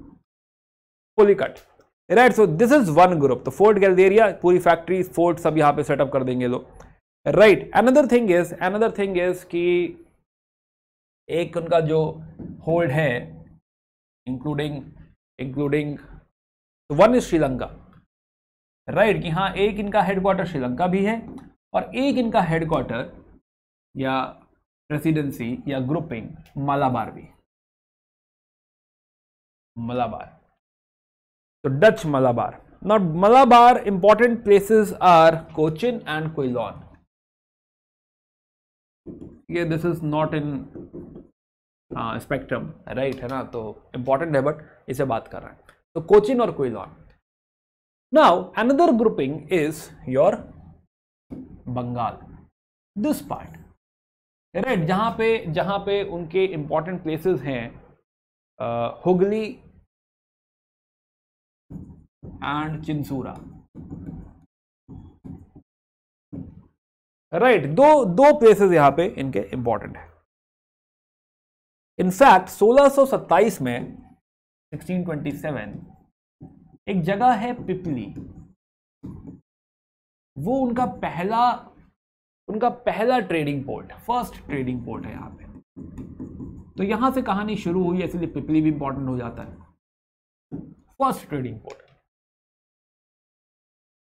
right plus major major अगर हम ट्रेड समझें डच का तो major trade is they deal into Dutch deals deals into silk cotton the deal into silk cotton indigo spices pepper rice अब opium ये थोड़ा सा note ले लेना। राइट या राइस ओपियम है ना? प्लीज़ इट्स मच बेटर कि आप लोग जो है इसको नोट डाउन करें। Okay so so so this is how this is how they have grown this is how जो है they are they have spread in India right तो अच्छा खासा ग्रोथ है इंडिया में इनको। जय और जय इधर की अगर हम मेन फैक्ट्री की बात करें तो सूरत सूरत आप मार्क कर सकते हो। सूरत और एक और फैक्ट्री आप लिख सकते हो Ahmedabad. These are the major factory okay so coming back coming back so जो है विल रियलाइज़ कि हाँ इन्होंने इस तरीके से अपना ट्रेड शुरू कर दिया बहुत सारी फैक्ट्रीज भी सेटअप करी है and it is important to understand कि हाँ इस तरीके की ग्रुपिंग भी है। राइट right, है ना कि को, कोई एक पर्सन इसको लीड नहीं कर रहा हर ग्रुप का अपना कोई हेड है जो इसको लीड कर रहा है। राइट right, है ना? हो सकता है इसमें कोई डायरेक्टर बैठा हो। हर हर किसी पे एक डायरेक्टरेट हो। Right and and they will be leading this okay so so या ना यहाँ पे एक और चीज़ समझने लायक है कि अंग्रेज़ों से इनकी शुरू से लड़ाई। Right why why let's understand तो इन दिस टाइम लाइन हमने देखा था कि इसी के पैरेलली 1608 में 1608 हम बात कर रहे थे हॉकिंस की। राइट right, कि हमको सूरत पे फैक्ट्री बनानी है हमको सूरत पे फैक्ट्री बनानी है। तो टेक्निकली जो डच की ग्रोथ है और जो अंग्रेज़ों की ग्रोथ है वो ऑलमोस्ट एक ही टाइम में एक दूसरे से कंपीट कर रहे हैं। दोनों ही बिज़नेस करना चाह रहे हैं। दोनों ही 1600 के बाद आए एक 1605 मसूलीपट्टनम में आ रहा है और दूसरा 1608 में जहांगीर के पास जा रहा है। राइट इनफैक्ट इनफैक्ट अंग्रेज़ भी मसूलीपट्टनम में 1611 में फैक्ट्री लगा देंगे। तो ये सेम स्पेस में सेम टाइम में दो दो जाइंट्स कंपीट कर रहे हैं। राइट right, दो जाइंट्स कंपीट कर रहे हैं तो क्या युद्ध होगा? अरे महायुद्ध होगा फिर तो। राइट right, है ना? तो now there are there are there are fights जिसमें एक फ़ेमस जो इंपॉर्टेंट फाइट है which is 1623 1623 Amboina massacre Amboina मासकर Amboina मासकर Amboina में कत्ले आम हो गया। फिर दस अंग्रेज़ों को मार दिया, कुछ जापानीज को मार दिया तो अंग्रेज़ों ने कहा कि भैया दूर रहो। राइट हम जो है यहाँ पे इंडोनेशिया में ट्रेड नहीं करेंगे, हम जा रहे छोड़ के जा रहे राइट तो एम्बॉयना मासकर इज़ फ़ेमस तो 16 सिक्स जो है 1520 1623 में पहला। तो अंग्रेज़ों का थोड़ा सा जो है यहाँ पे you know come back set back हुआ कि नहीं जो है, हम नहीं करेंगे। And then there are multiple fight 1652 में एक बार वॉर हुआ है देन 65 में वॉर हुआ है तो हर 10 साल में वॉर हो रहा है। Right but but one important war is war is 1665 67 तो 67 के आसपास 1667 अंग्रेज़ों और डच में लड़ाई हुई है एंग्लो डच डच वॉर और इन दोनों ने एक समझदारी से कहा कि भाई ऐसा है, मैं इंडिया में फोकस करूँगा राइट और डच कहेगा कि मैं जो है इंडोनेशिया पे फोकस करूँगा या साउथ ईस्ट एशिया में फोकस करूँगा। तो आज से भाई हम दोनों के रास्ते अलग अलग है। राइट है ना? आप उधर फोकस करिए, हम उधर फोकस करेंगे। राइट ये लड़ झगड़ के क्या ही मिल रहा है। तो from here you can say कि हाँ we will have some clarity उसके बाद ऐसा नहीं कि लड़ाई नहीं हुई है, लड़ाइयाँ फिर हुई हैं। But still from here we can have some clarity कि हाँ जो है, अब मेजर फोकस जो डच का है, वो है वो है इंडोनेशिया इंडिया का जो मेजर फोकस है, वो है आपका जो है, यहाँ पे अंग्रेज़ों का जो मेन फोकस है, वो है India now now last point I laid एक फाइनल फाइनल कोशिश करी थी डच ने इन 1759 राइट और ये जब वहाँ पहुँचेंगे तो फिर से देखेंगे एक बारी कि बैटल ऑफ़ बेदारा तो बंगाल में हो रहा है बैटल ऑफ़ बेदारा एंड यहाँ पे डच वर डिफीटेड ये भी क्या है? ये भी एंग्लो डच ही है। Right this is also Anglo Dutch war and Dutch got defeated या ऐसा लिख लो British war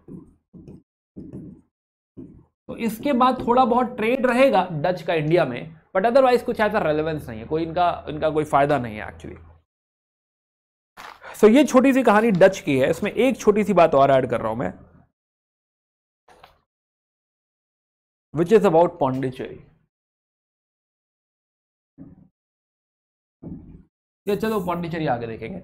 Right let's go so now now so so this is the story of dutch anglo dutch की हम बात कर रहे थे कॉम्प्रोमाइज की हमने बात करी। अब बात करते हैं पोर्चुगीज और डच के बाद बात करते हैं अंग्रेज़ों की। राइट अब मेन मुद्दे पे आ रहे हैं, अंग्रेज़ों के मुद्दे पे आ रहे हैं। Right Britishers now now Britishers तो देखो, अब जब फ़ायदा हो रहा है तो कहीं ना कहीं इनको भी लग रहा है कि हम भी इस प्रॉफिट में जाएँ, हम भी बिज़नेस करें। क्योंकि भाई, अगर जो है पोर्चुगीज पिछले सौ सालों से इतना बढ़िया बिज़नेस कर रहा है तो हम लोग क्यों नहीं कर सकते? हम भी जा सकते, हम भी कर सकते। तो ना तो स्पेशली स्पेशली कुछ और इवेंट भी हुए हैं, जैसे फ्रांसिस डेक जो है, वो दुनिया घूम के आए। तो लोगों को लगा घूमने जा सकता है आदमी। राइट तो हम लोग बिज़नेस क्यों नहीं कर सकते? सिमिलरली जो स्पेनिश फ्लीट है स्पेनिश जहाज़, उनको हरा दिया अट्ठासी में। तो जब हम स्पेन को हरा सकते हैं तो पोर्चुगीज को भी हरा सकते हैं। राइट तो अगर ये पॉसिबल है तो हम भी चलते हैं। हम लोग भी करेंगे बिज़नेस तब कहीं जाके ये आइडिया आया है कि हाँ भाई, हम भी चलते हैं। नाउ तो again now again one more timeline last timeline for the Britishers now 1599 में, पहली बारी। जॉन मिल्डन हेल ना, जॉन मिल्टन हेल जाते हैं, मिलते हैं अकबर से। अब 1599 में अकबर जीवित थे। तो जॉन मिल्टन हेल ने इनसे मुलाकात करी। अकबर से पूछा कि हम ट्रेड करना चाहते हैं बिज़नेस करना चाहते हैं, करने देंगे? अकबर ने कहा हाँ भाई, ठीक है, कर लो ट्रेड राइट बिल्कुल, कोई बात नहीं। राइट तो यहाँ पे अकबर ने कहा, ठीक है, कर लो, चलेगा। राइट नाउ नाउ जब इसके बाद, अब मिल्टन हेल वापस गए वहाँ पर जाके खबर सुनाई कि अकबर ने हाँ कर दिया है। अब देखो इंडिया के सामने इंडिया बहुत बड़ी कंट्री है। इंडिया के सामने ब्रिटेन बहुत छोटी सी कंट्री है। अब इंडिया के राजा ने हाँ कर दिया है तो वहाँ दिवाली मनने लग गई वाह भाई, वाह, मना जो है हाँ कर दिया है, क्या ही बात है। तो मिल्टन हेल वापस गए, जाके खबर सुनाई कि हाँ कर दिया है। उन्होंने कहा अच्छा बहुत अच्छी बात है। तो इंग्लैंड की रानी ने तुरंत परमिशन दे दी कि ठीक है भाई तो इकतीस दिसंबर सोलह चार्टर इशू कर दिया प्राइवेट कंपनी को कि हाँ ठीक है भाई जाओ करो ट्रेडिंग करो बिज़नेस करो कोई दिक्कत की बात नहीं। राइट right है ना आपको जो है इंडिया से टेक्सटाइल वगैरह का बिज़नेस करना है जाइए जैसे भी आप कर सकते हैं टेक्सटाइल स्पाइसेस जो भी है आप लेकर आइए। तो this is how you know this order is given अब कैसे हो भाई कैसे हो ये बात बात जो है कैसे बढ़े आगे? तो नाउ तब हमने कहानी समझी कैप्टन हॉकिंस की। राइट right, कि कैप्टन हॉकिंस को भेजा गया। तो 1609 में कैप्टन हॉकिंस पहुँचे। अब ये कहानी हम लोग देख चुके हैं। कैप्टन हॉकिंस हॉकिंस ही लिख देता हूँ खाली। हॉकिंस। 1609 से 1611 क्या कुछ हुआ? नहीं हुआ। पर 1612 में पोर्चुगीज को हरा दिया। राइट, ये बड़ी बात हो गई।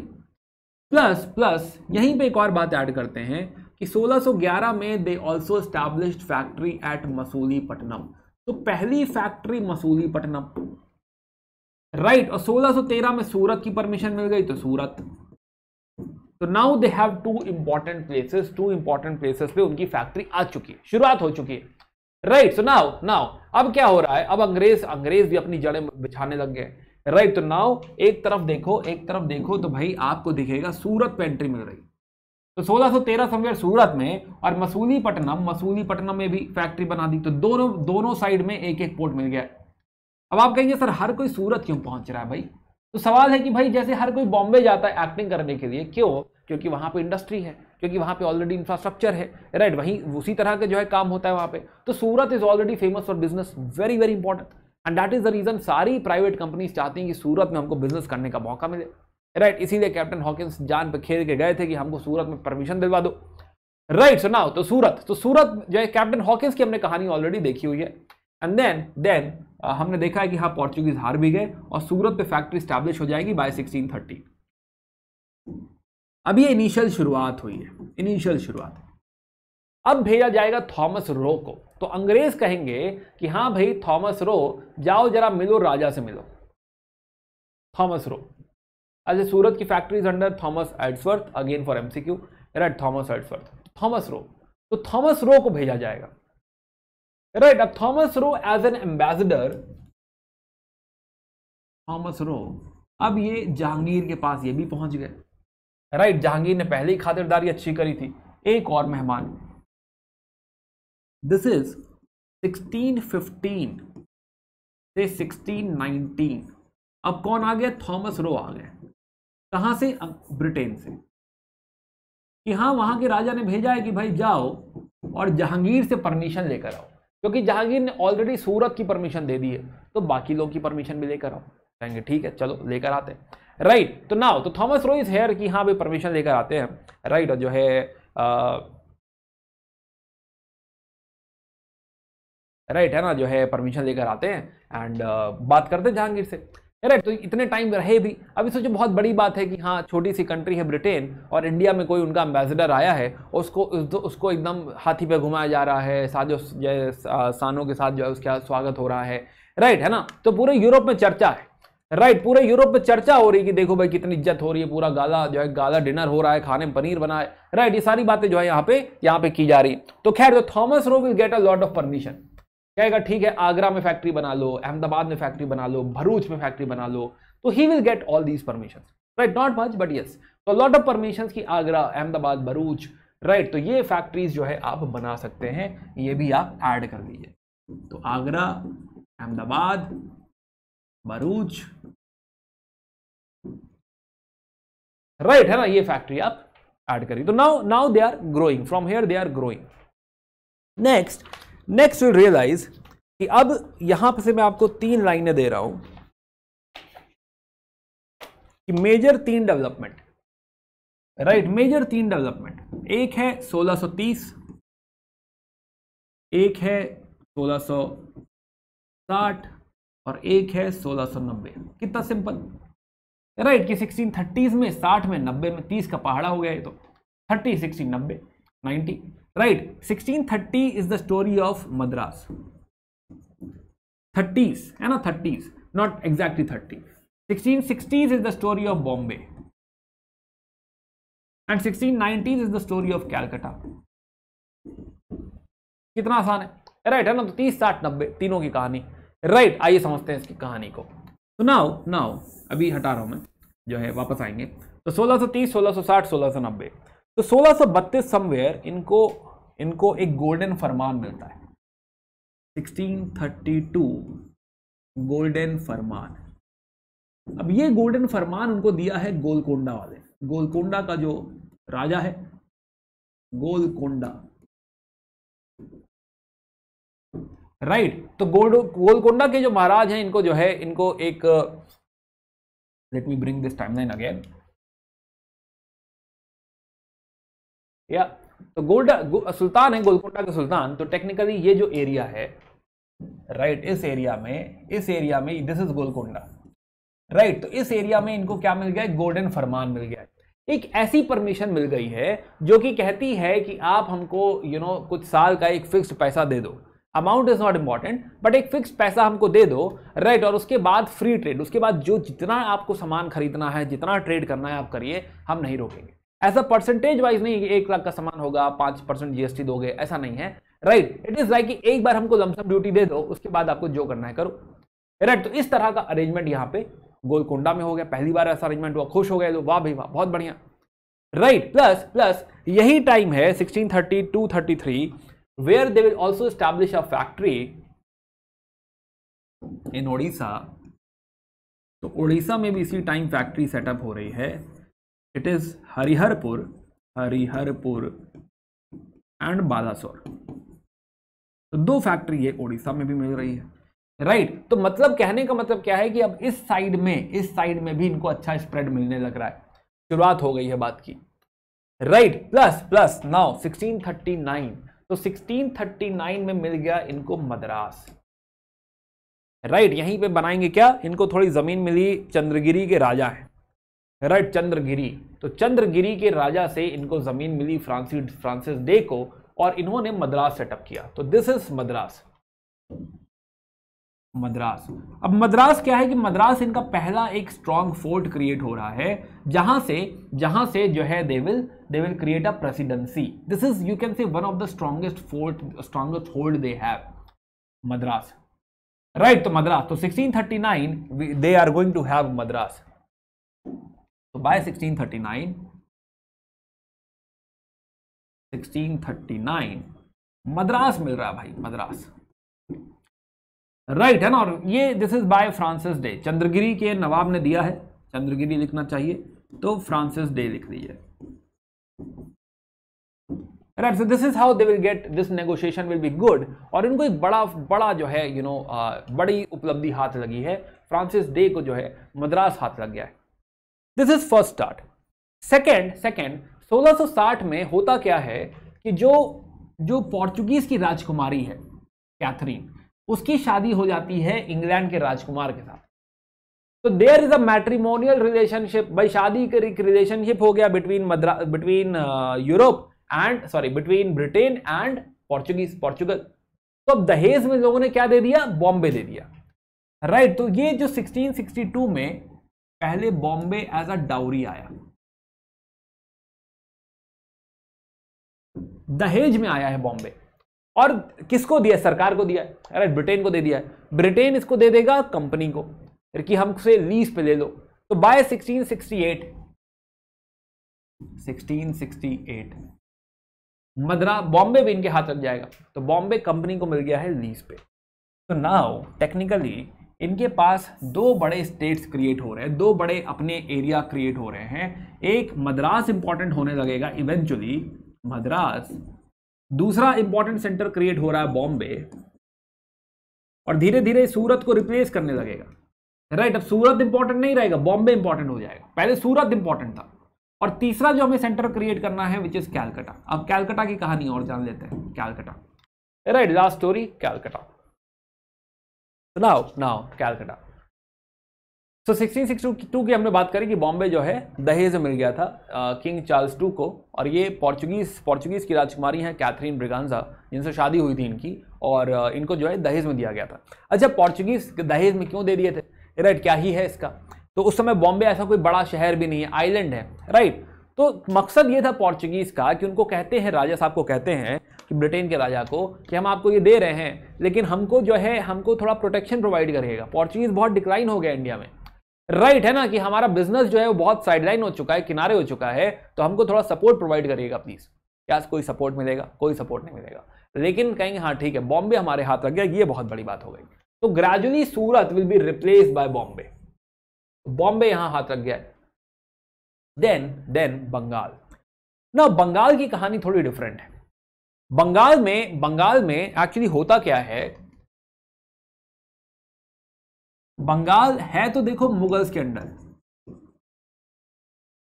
राइट मुगल्स परमिशन भी दे देंगे, जाओ कैलकाटा में ट्रेड करो, कोई दिक्कत की बात नहीं, जाओ जाओ जाओ। लेकिन लेकिन जो लोकल ऑफिसर्स हैं लोकल ऑफिसर्स लोकल ऑफिसर्स क्या होगा? रोकेंगे। कहेंगे, नहीं भाई, को थोड़ा पैसा दो। थोड़ा जेब गर्म करो, थोड़ा ब्राइब दो हमको, तभी हम जो है सामान जाने देंगे। तो लोकल ऑफिशियल्स कहीं ना कहीं परेशान करते हैं। Right right? तो ये सबसे बड़ी समस्या है, सबसे बड़ी समस्या है for for the for the Britishers तो सोलह में they are setting up factory Hooghly ये लोग भी पहुँच गए भाई। तो सोलह में उन्होंने हुगली हुगली में फैक्ट्री सेटअप कर दी। Right sixteen fifty one now sixteen fifty one Hooghly Kasim Bazar Patna Rajmahal इन सब जगह ये लोग स्टैब्लिश हो रहे हैं। बट बट क्या ट्रेड करना आसान है? नहीं ट्रेड करना आसान नहीं।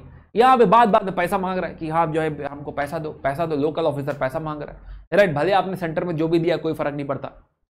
राइट अब पहले पहले पहले थे गवर्नर यहाँ पे शाह सूजा।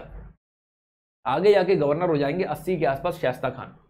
सोलह सौ अस्सी समवेयर और ये राज्य है औरंगज़ेब का। राइट right, और यहाँ पर यहाँ पर पहले शास्ता खान से रिक्वेस्ट करेंगे बट यहाँ पर लड़ाई हो जाएगी इन दोनों के बीच में। तो यहाँ पे अंग्रेज़ों की लड़ाई हो चुकी है मुगल से और मुगल राजा है औरंगज़ेब। राइट right, ये अलग जो है एरोगेंट हो गए। इनको लगा कि औरंगज़ेब को चैलेंज कर सकते हैं। राइट right, कुछ भी हो जाए औरंगज़ेब औरंगज़ेब है। राइट औरंगज़ेब लास्ट राजा है माना। राइट औरंगज़ेब का राज्य 1658 से समवेयर 1707 तक रहेगा। वो भी 50 साल का राज्य है लगभग। लगभग 50 राइट है ना? तो 50 49 इयर्स रफली so now so now the point is they could not challenge Aurangzeb but they did कर दिया उन्होंने राइट तो पिटाई भी हुई भाई. तो काफ़ी काफ़ी साइडलाइन हो गए. 1686 से 1686 में हुगली से भगा दिए गए. राइट है ना? हुगली पूरी सैक कर दी. थोड़ा बहुत इन्होंने भी हाथ पाँव मारा बट स्टिल स्टिल औरंगज़ेब के सामने कुछ नहीं. राइट नाउ दे रियलाइज़ गलती हो गई है भाई. क्या किया जाए? तो जाके इन्होंने बोला सॉरी सॉरी गलती हो गई. तो 1690 में वापस औरंगज़ेब से मुलाकात राइट जॉब चरनौक की ज़िम्मेदारी है। तो जॉब चरनौक मिलेंगे कहेंगे नहीं सर हमको हाथ जोड़ के गलती हो गई है। हमको जो है वापस बिज़नेस वगैरह करने दो। अच्छा अच्छी बात बिज़नेस की होती है कोई परमानेंट दुश्मन नहीं होता। बिज़नेस चलना चाहिए राइट क्या ही ईगो पे लेना है। ठीक है गलती हो गई तो चलो चल चल, के सॉरी बोल दें। तो यहाँ पे finally they will establish you know एक जगह दी जाएगी सूता नदी। तो सूता नदी में दे विल स्टैब्लिश फैक्ट्री यहाँ वापस बिज़नेस शुरू किया जाएगा रिक्वेस्ट होगा कि हाँ जो है परमिशन दे दीजिए, तीन हज़ार रुपये हमसे साल का ले लीजिए और हमको ट्रेड करने दीजिए। एंड देन आगे धीरे धीरे होता ना तो पहले जगह ली, पहले ट्रेड स्टार्ट किया, फिर फोर्टिफिकेशन किया, फिर जो है आसपास की ज़मीनें और खरीद ली तो सूता नदी के आसपास Govindpur, Kalikata right which is Kali Ghat तो आसपास का एरिया भी खरीद लिया। और यही एरिया क्या बना? यही एरिया है Calcutta.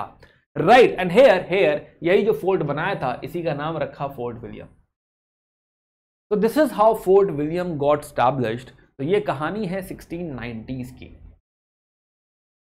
राइट right, तो 1690s हमने देखा 1700 तक की कहानी है. तो ये कहानी है कि किस तरह कैलकटा इन्होंने एक्वायर किया या वहाँ पे फोर्टिफिकेशन किया और यहाँ पे फोर्ट विलियम सेटअप कर दिया.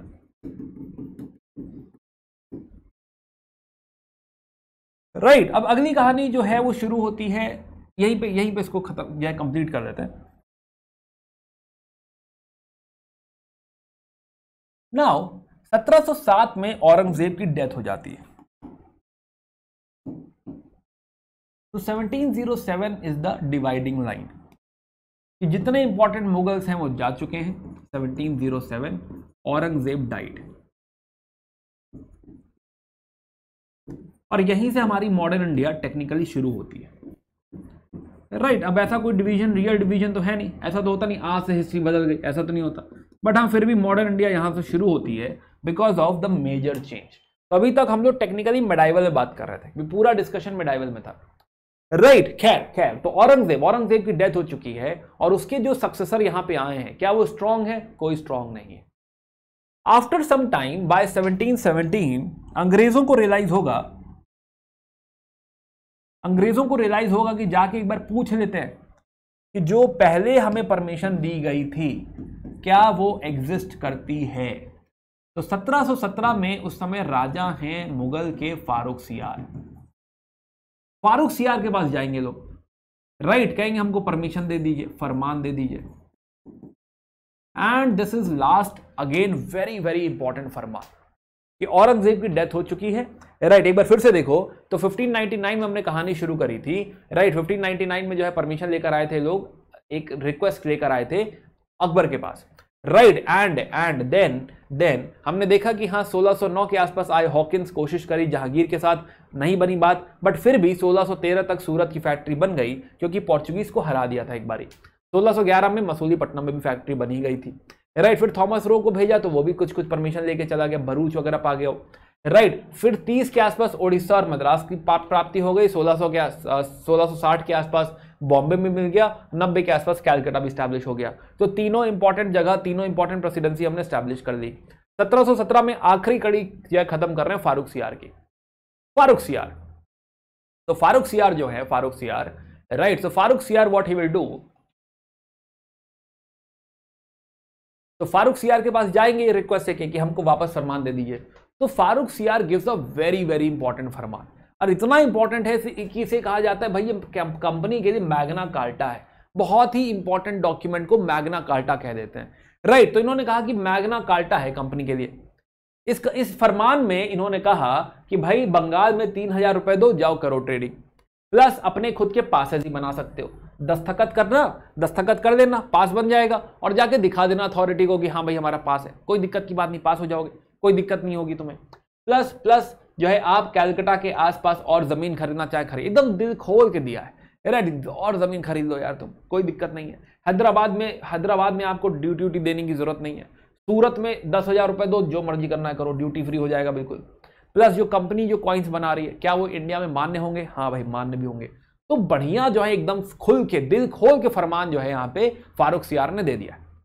राइट अब फारूक सियार कौन है नॉल मैं इंट्रोड्यूस करूँगा। अगला चैप्टर है वो, जहाँ पे हम मुगल्स की बात करेंगे, फारूक सियार एंड ऑल इनके भाई बहन सबको इंट्रोड्यूस करेंगे। भाई बहन मीन बाकी राजाओं को इंट्रोड्यूस करेंगे, तब करेंगे डिस्कशन बट अभी हमने समझा कि फारूक सियार ने एक बड़ी परमिशन दे दी है यहाँ पे। तो यहाँ तक यहाँ तक व्हाट वी आर रियलाइजिंग कि भाई एक अच्छी ग्रोथ मिली है। Right right? अच्छा मीन वाइज मीन वाइज अंग्रेज़ों ने सोचा कि एक और कंपनी क्रिएट करते हैं। राइट right, है ना? ये जो ये जो मोनोपली है ईस्ट इंडिया कंपनी की ये ठीक नहीं एक ही कंपनी है जो पूरा बिज़नेस कर रही है। तो ये ठीक नहीं है। तो चलो एक और कंपनी क्रिएट करें। तो उन्होंने एक और कंपनी क्रिएट करी कोशिश करी बट चली नहीं। तो इसीलिए बहुत इंपॉर्टेंट ये है नहीं। राइट right, भेजेंगे औरंगज़ेब के पास भेजेंगे उसको भी है ना अपने विलियम नॉरिस को। बट ये चलेगी नहीं और ये दोनों कंपनी फाइनली मर्ज कर देंगे। तो 1708 में ये मर्जर हो रहा है। और यहाँ से इस कंपनी का नाम East India company merge entity को ईस्ट इंडिया कंपनी कहेंगे।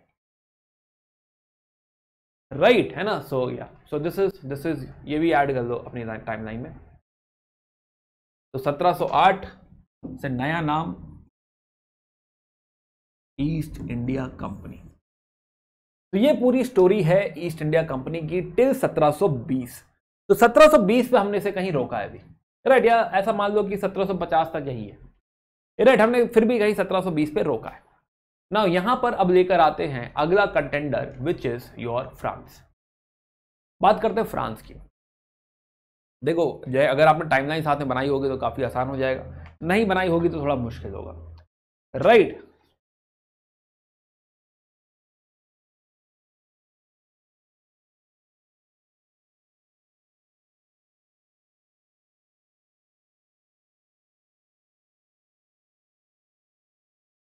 okay?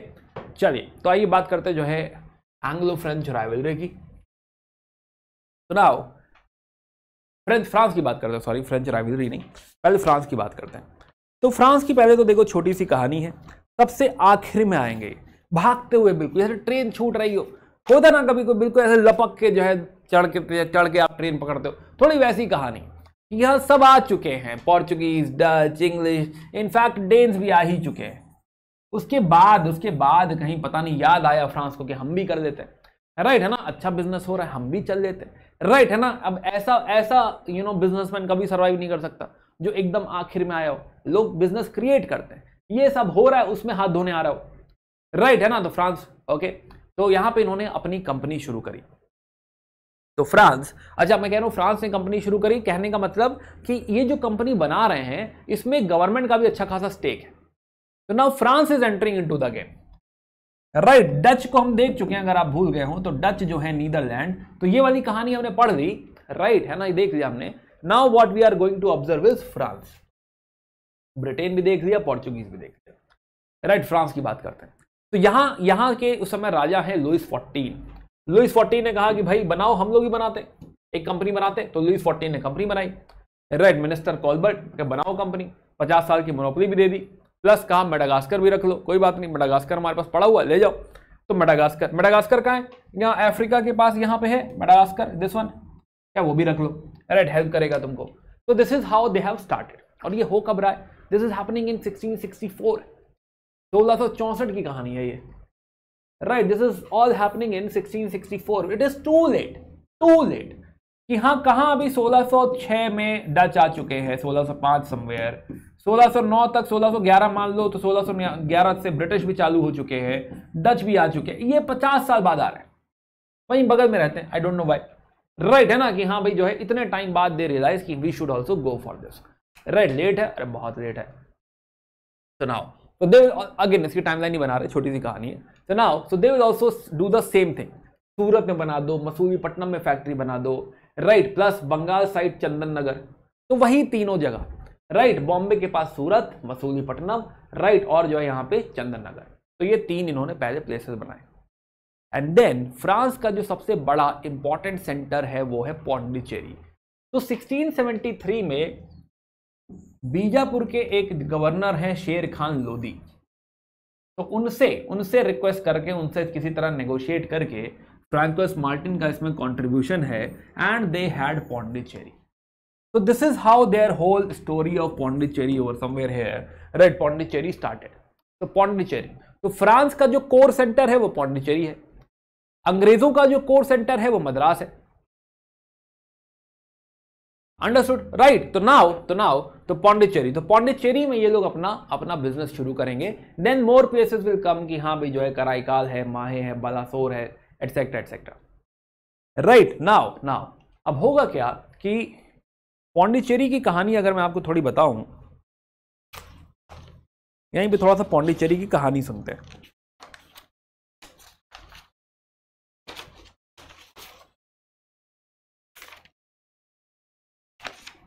तो पौंडीचेरी सबसे पहले पोर्चुगीज के पास था।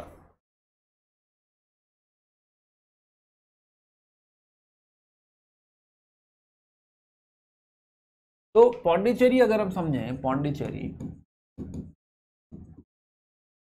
तो सबसे पहले पोर्चुगीज के पास था। बट यहाँ के लोकल रूलर ने पोर्चुगीज को हरा दिया और इसको दे दिया डेन्स को कि तुम लोग रहो यहाँ पे। राइट right, है ना? बट डेन्स तो पावरफुल है ही नहीं। इनसे ले जाएँगे डच राइट right, है ना? Again years are not important just understand right और फिर फ्रांस आएगा कहेगा हम यहाँ पे कॉलोनी बनाएँगे। तो फ्रेंच आ जाएँगे। राइट right, और फिर होगी डच और फ्रेंच की लड़ाई। और इनसे इनसे ये वापस ले लेगा। राइट तो डच फ्रेंच से पौंडिचेरी वापस ले लेगा but then then by 1693 there is a treaty of Ryswick after this war जिसमें होगा कि भाई अपना पौंडीचेरी ले जाओ। राइट पौंडीचेरी रिटर्न कर दिया जाएगा। ओके तो so Pondicherry is return because of treaty of Ryswick यहीं पे यहीं पे लिख लो रिटर्न फिर ऑलमोस्ट इन्हीं के पास रहेगा फ्रेंच के पास ही रहेगा। एंड एंड 1760 में आफ्टर दिस 1760 में ब्रिटिश ब्रिटिश ले जाएँगे। तो पौंडीचेरी जो है, वो इधर उधर कूदता रहेगा। कभी इनके पास, कभी उनके पास, कभी उनके पास। बट फाइनली मेजर टाइम के लिए जो पौंडिचेरी है, वो फ्रांस का ही सेंटर रहेगा। है ना? तो मेजर वो है हमेशा फ्रांस फ्रेंच का ही सेंटर रहा है।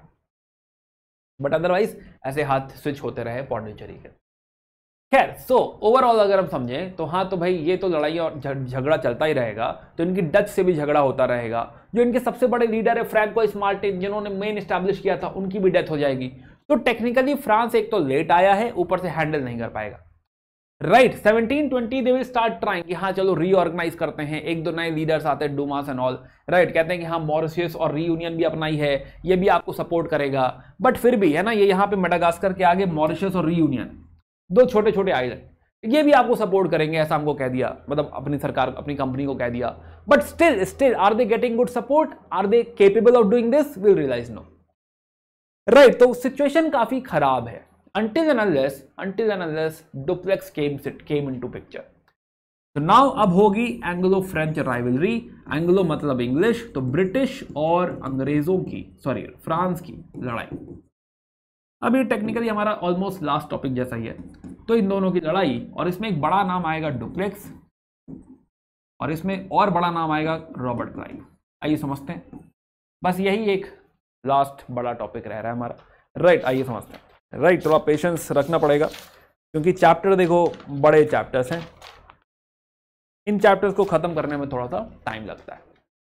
अगर हम एक वीडियो में ट्राई करेंगे, एक क्लास में ट्राई करेंगे तो this will take some time है ना? तो थोड़ा सा लंबा वीडियो बनेगा ये। राइट है ना? Tough for me as well but जो है दिस इज़ हाउ आपका एक चैप्टर खत्म हो जाएगा बड़ा टॉपिक खत्म हो जाएगा।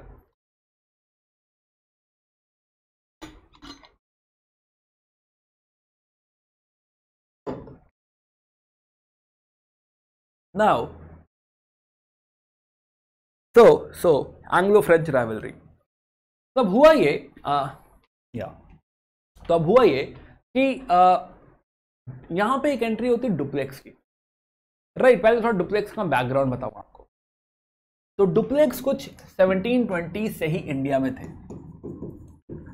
राइट right, 1720 से ही इंडिया में थे। He was also officer in जो है फ्रेंच गवर्नमेंट बट देन कुछ कंफ्यूजन हुआ कुछ टाइम के लिए उनको हटा दिया कुछ केसेस भी चला। But then finally he became governor right तो इनको गवर्नर हेड बना दिया। This this head thing is coming by 1740 somewhere right है ना? 1742 में he became the governor now Dupleix की खास बात यह है कि he believes in you can say political expansion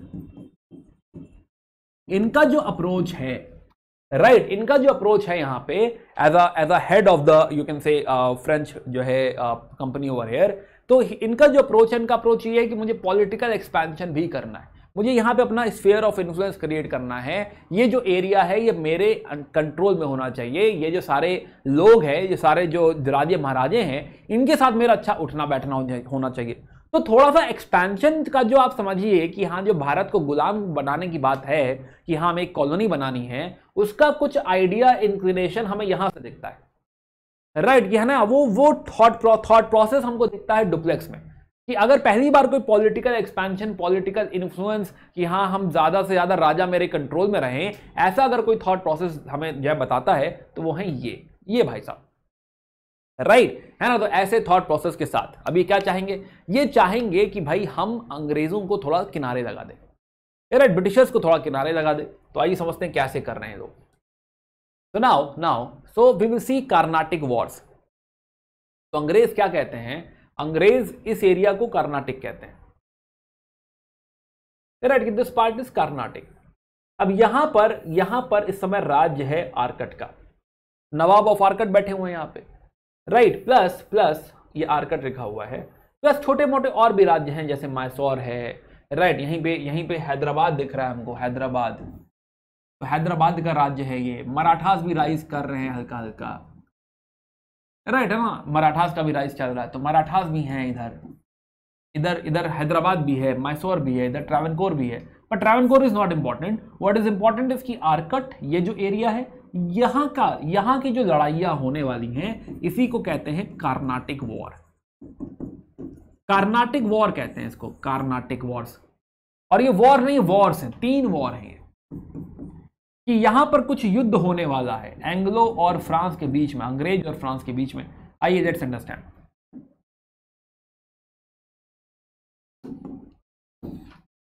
तो ये जो लड़ाई है this will somewhere you know issue start somewhere in 1742 पहली लड़ाई 42 से 48 1748 ये पहला युद्ध है। Right this is first war बता दें क्यों हुआ? अगला अगला 49 टू 54 हो रहा है। 1749 टू 1754 राइट एंड अगला जो है वो 56 टू 1756 टू 1763 हो रहा है। राइट right, भूमिका बांधते हैं कि हाँ क्या हो रहा है? लगभग लगभग 20 साल की ओवरऑल लड़ाई है। राइट right, और 20 साल ये जो 20 साल हैं हम बात कर रहे हैं कार्नाटिक वॉर्स की। इसको कार्नाटिक वॉर भी कहते हैं, उस एरिया की वजह से, प्लस प्लस इसको इसको एंग्लो फ्रेंच वॉर भी कहते हैं। एक ही बात है। आइए एक एक करके वॉर समझते हैं, क्या हो रहा है वॉर्स में। पहला वॉर तो होता क्या है कि भाई, इनकी लड़ाई जो है, ये लड़ाई एक्चुअली यहाँ पे नहीं हो रही इंडिया में नहीं हो रही। ये ये लड़ाई जो हो रही है this is in this is in Europe Europe में एंग्लो फ्रेंच वॉर चल रहा है। तो बेसिकली फ्रांस और ब्रिटेन आपस में लड़ रहे हैं यूरोप में, घर में अपनी लड़ाई हो रही है। राइट इंडिया में लड़ाई नहीं। राइट उनका अपना कुछ ऑस्ट्रियन वॉर ऑफ़ सक्सेशन का इश्यू हुआ है। कुछ ऐसा लोकल कुछ झगड़ा हुआ है, घर में बंटवारा टाइप दिक्कत हुई है। राइट तो वो अपना आपस में घर में लड़ाई कर रहे हैं।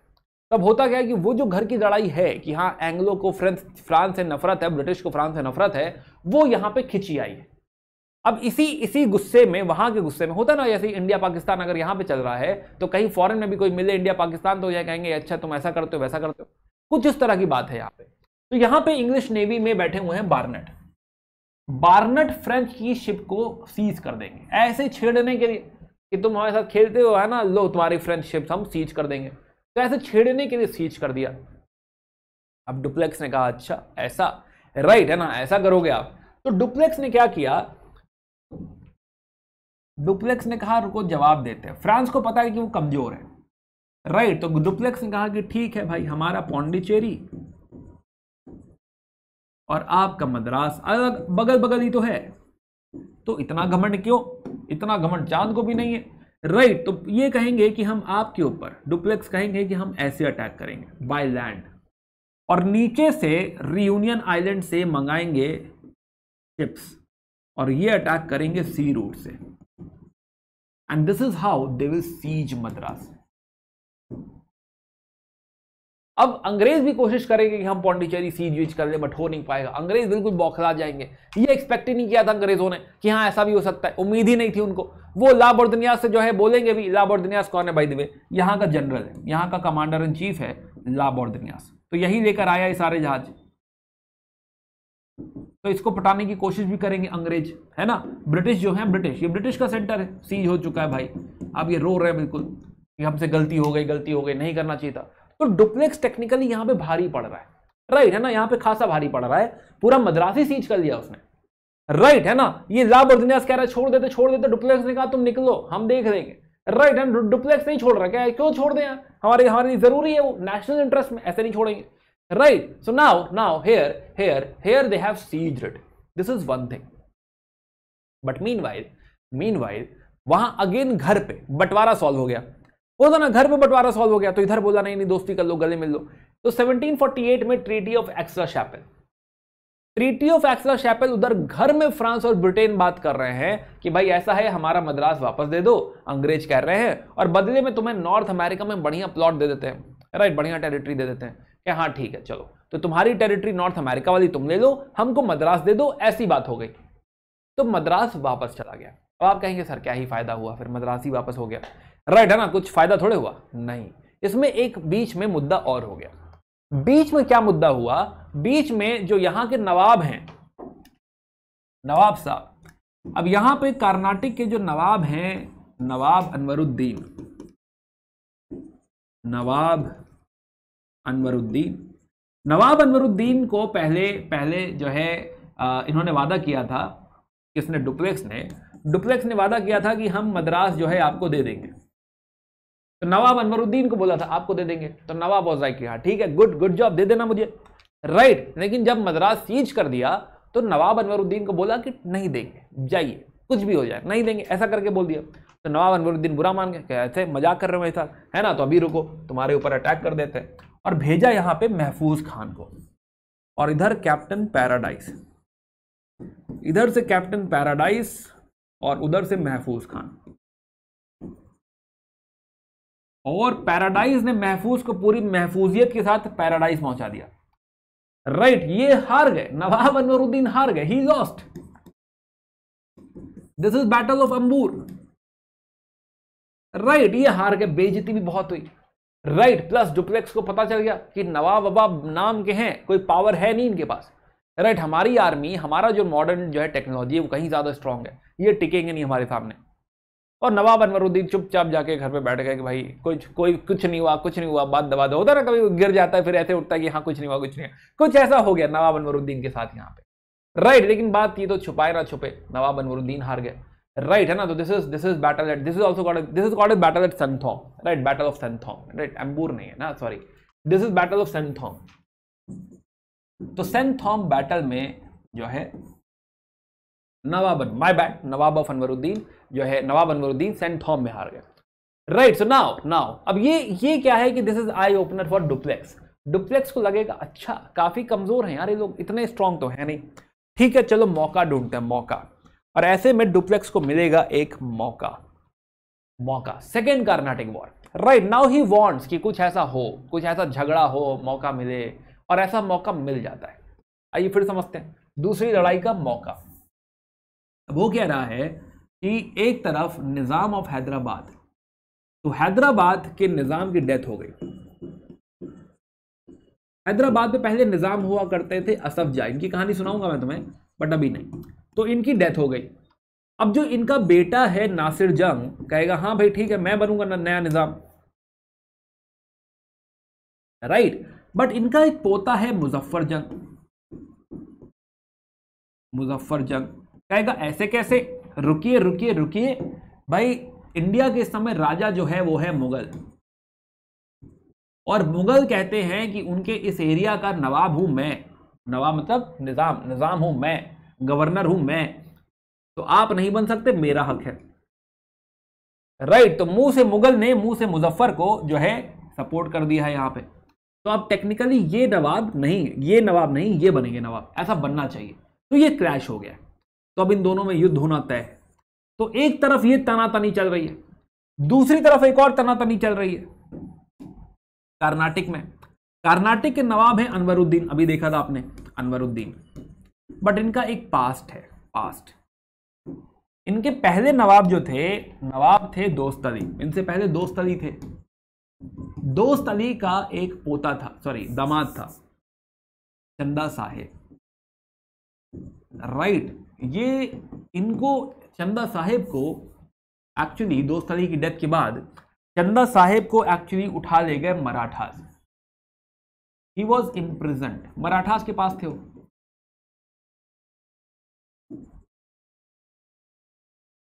राइट तो मराठास के पास जो है चंदा साहिब रहते थे। इन्होंने उठा ले गए थे वो। बट अभी इनको रिलीज़ कर दिया गया। चंदा साहेब वॉज़ रिलीज़ तो चंदा साहेब आएँगे तो कहेंगे, मुझे नवाब बनना चाहिए। तो एक इधर तनातनी हो गई है। ये कह रहे हैं कि, मुझे नवाब बनना चाहिए। अनवरुद्दीन का क्लेम नहीं है। मुझे बनना चाहिए नवाब। तो अभी दो तरफ़ तनातनी हो गई। डुप्लेक्स कह रहा है, इसी मौके का तो इंतज़ार था। बहुत बढ़िया, यही चाहिए। राइट तो डुप्लेक्स कहेगा, बहुत बढ़िया, ऐसे मौके पे फ्रांस जो है, फ्रांस। डुप्लेक्स सपोर्ट करेंगे इनको, क्योंकि इनके ऊपर मुगस का भी हाथ है। और सपोर्ट करेंगे अनवरुद्दीन को तो कर नहीं सकते, चंदा साहेब को। तो अंग्रेज़ों के पास भी क्या ही ऑप्शन है? Right British automatically automatically opposite side हो गए। तो इनको सपोर्ट करना पड़ेगा अनवरुद्दीन, पुरानी दोस्ती। और नासिर जंग, अब होगा युद्ध। राइट है ना, होगी लड़ाई, होगी battle of Vellore 1749 battle of Vellore अब इस बैटल में बैटल ऑफ़ वेल्लोर में अनवरुद्दीन मारे जाएँगे। राइट और जीत जाएँगे फ्रेंच वाली टीम जो है डुप्लेक्स की जो टीम है, ये जीत जाएगी। राइट मुजफ्फर जंग बन जाएँगे डेकन के सरदार। हैदराबाद के सरदार वही बन गया सूबेदार वही बन गया सरदार नहीं, सूबेदार। तो सूबेदार बन गए right now now battle of Vellore तो बैटल ऑफ़ वेलोर में ये जीत गए। प्लस प्लस डुप्लेक्स को बोला कि तुम कृष्णा नदी के नीचे जितना भी गवर्नर, जितना भी टेरिटरी है कृष्णा नदी के नीचे, उसके गवर्नर आप हैं। अरे डुप्लेक्स की आँखों में आँसू आ गए यही तो सुनना चाहता था मैं। राइट इसीलिए तो इतनी मेहनत करी थी यार, क्यों ही मैं सब कर रहा हूँ मैं? राइट है ना? तो यस तो डुप्लेक्स कहेगा बहुत बढ़िया, बहुत अच्छा लगा। मुझे एकदम दिल जीत लिया तुमने। बहुत ही खुशी की बात है। तो अभी ये लोग मिठाई विठाई बांट रहे थे, है ना? अच्छा बाई वे एक और बात, एक और काम डुप्लेक्स करेंगे। डुप्लेक्स एक ट्रीटी करेंगे हैदराबाद के साथ। और उसके तहत अपनी आर्मी हैदराबाद पे स्टैब्लिश कर देंगे। अंडर अंडर बसी तो बसी अपनी लेके एक आर्मी हैदराबाद में खड़े हो जाएँगे। This is also called as कि हाँ पहली बार सब्सिडरी अलायंस हुआ है। अब ये बात मैं यहाँ पे कह दे रहा हूँ एक्सप्लेन नहीं कर रहा, ये आगे कनेक्ट करेंगे। राइट अभी ये इसमें नहीं लिखा हुआ बट याद रखिएगा कि ऐसी कोई ट्रीटी हुई है, इसको आगे कनेक्ट करेंगे। कि जो सब्सिडरी अलायंस या सब्सिडरी ट्रीटी का आइडिया है, ये एक्चुअली ओरिजिनली डुप्लेक्स का idea right this is Dupleix idea तो खैर तो खैर तो डुप्लेक्स यहाँ पे इस तरीके से कह देंगे कि हाँ कर देते हैं। So now, now, so he he will he almost has. Right ऐसा लग रहा है कि जीत हो ही गई अब क्या ही रखा है। बट ऐसे में ऐसे में एक एंट्री होती है दूसरे हीरो की अंग्रेज़ों का hero Robert Clive Robert Clive actually factor है। राइट? right, और ये कन्विंस कर देते हैं। कहते हैं कि भाई ऐसा है हम लोग जो आरकट की राजधानी है आरकट आरकट की राजधानी है आरकट आरकट की राजधानी पर अटैक करते हैं। राइट सीज कर देते हैं बिल्कुल। राइट और और जो मोहम्मद अली जो चंदा साहब का जो बेटा है मोहम्मद अली इनका एक बेटा है मोहम्मद अली। राइट मोहम्मद अली। मोहम्मद अली मोहम्मद अली फंसा हुआ है त्रिचिन्नापल्ली में। त्रिचिन्नापल्ली में। राइट वहाँ फंसा हुआ है। और ये आर्कट के जो नवाब ऑल हैं राइट जो है आई एम सॉरी उल्टा उल्टा लिख दिया जस्ट अ सेकेंड ये तो जीत गए थे ना। ओके सॉरी अनवरुद्दीन का जो बेटा है, वो है दोस्त अली, मोहम्मद अली। अरे सॉरी अगेन फिर से बता रहा हूँ। तो अनवरुद्दीन का बेटा है मोहम्मद अली। तो अब चंदा साहब मोहम्मद अली को मारने की कोशिश कर रहे हैं। राइट तो मोहम्मद अली जाके छुप गया है त्रिचुना पोली में। तो यहाँ बैठा है Mohammad Ali. And this is versus यहाँ पे चंदा साहिब इसके पीछे पड़े यहाँ इसको छोड़ो नहीं, कल को ये भी कहेगा कि मुझे नवाब बनना है। छोड़ना नहीं है इसको। तो चंदा साहेब और भी इनके सपोर्ट में लोग लगे हुए हैं। अब ऐसे मौके पे, ऐसे मौके पे रॉबर्ट क्लाइव ने सीज कर दिया अटैक कर दिया आर्कट पे। राइट जैसे ही आर्कट पे अटैक किया, चंदा साहेब आप भागे। राइट की सीज को संभालने, है ना? संभालने रॉबर्ट क्लाइव को। Robert Clive with only 250 soldiers seized Arcot. और ये कुछ 50 दिन कुछ नहीं कर पाए लोग राइट तो रॉबर्ट क्लाइव की तारीफ़ है कि भाई हाँ जो उम्मीद भी नहीं थी भाई वो, है ना? वो तो क्लर्क था फैक्टर था। वो कोई कोई ऐसा मिलिट्री जनरल भी नहीं है बट वो भारी पड़ गया। And then then Marathas and all came and help Trichinopoly and Robert Clive plus plus Mohammad Ali also killed Chanda Sahib तो technically British won the game जो पहले वो हार चुके थे लगभग। तो ये सेकेंड बैटल में फाइनली रॉबर्ट क्लाइव भारी पड़ गया। किस पे? डुप्लेक्स भारी पड़ गया।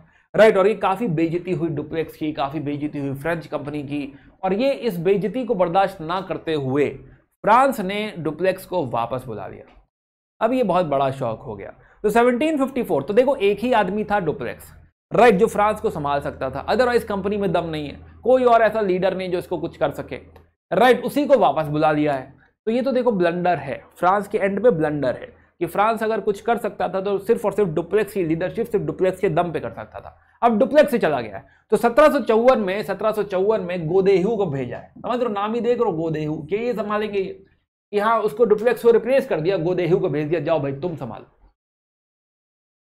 Right so now now so this this is your second battle और कुछ इसके हाथ लग रहा है। कुछ जो है यहाँ पे किसी के हाथ नहीं लग रहा है। बट अंग्रेज़ों का बड़ा फ़ायदा हुआ कि डुप्लेक्स यहाँ से चला गया। दूसरी तरफ़ अंग्रेज़ों का यह भी फ़ायदा हुआ कि अब जो नए नवाब हैं, मोहम्मद अली ये अंग्रेज़ों के दोस्त हैं। और उधर भी सालबत जंग आ चुके हैं। इधर,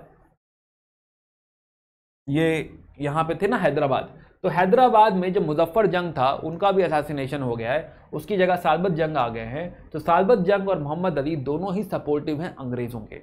यानी कि यानी कि अब अगर समझो तो चाहे वो हैदराबाद हो और चाहे वो कर्नाटिक हो, दोनों ही दोनों ही अंग्रेज़ों के साथ है। क्या फ्रांस को बड़ी हार का सामना करना पड़े? यस यहाँ पे फ्रांस को तगड़ी हार का सामना करना पड़ा कि ये जो ये जो इंटरनल झगड़ों में, घर के झगड़ों में कूदा था डुप्लेक्स राइट यही उसके लिए बैकफायर कर गया। थोड़ी देर के लिए खुशी हुई थी कि हाँ कुछ कुछ हो गया, कुछ कुछ हो गया बट जो है, बाद में पता चला कि कुछ नहीं हुआ है। Right and now we come to the last battle the third battle third battle हमने टाइमलाइन पे नहीं डाला है सर चलो टाइमलाइन पे आप डाल दीजिएगा। सिंपल सी बैटल्स हैं, है ना? क्या ही डालना है? चलिए, ठीक है आप आप लिखिएगा उसको, है ना, आपका होमवर्क है। No third battle no third battle is happening in 1758-63 again घर में लड़ाई हो रही, वहाँ पे यूरोप में जो है, ब्रिटेन में ब्रिटेन और फ्रांस लड़ रहे हैं सेवन ईयर वॉर कि उनका कोई सात साल का कार्यक्रम चल रहा है। राइट है ना? अब ये सब पढ़ोगे तुम जो है, जब वर्ल्ड हिस्ट्री पढ़ोगे। But again world history is not that important तो इसीलिए उस डिटेल में जाना नहीं है। है ना? बट स्टिल बट स्टिल तो सेवन ईयर वॉर तो सेवन ईयर वॉर चल रहा है, अगेन ब्रिटेन और फ्रांस वहाँ पे लड़ रहे हैं, उसका इंपैक्ट फिर हम यहाँ पे देखेंगे।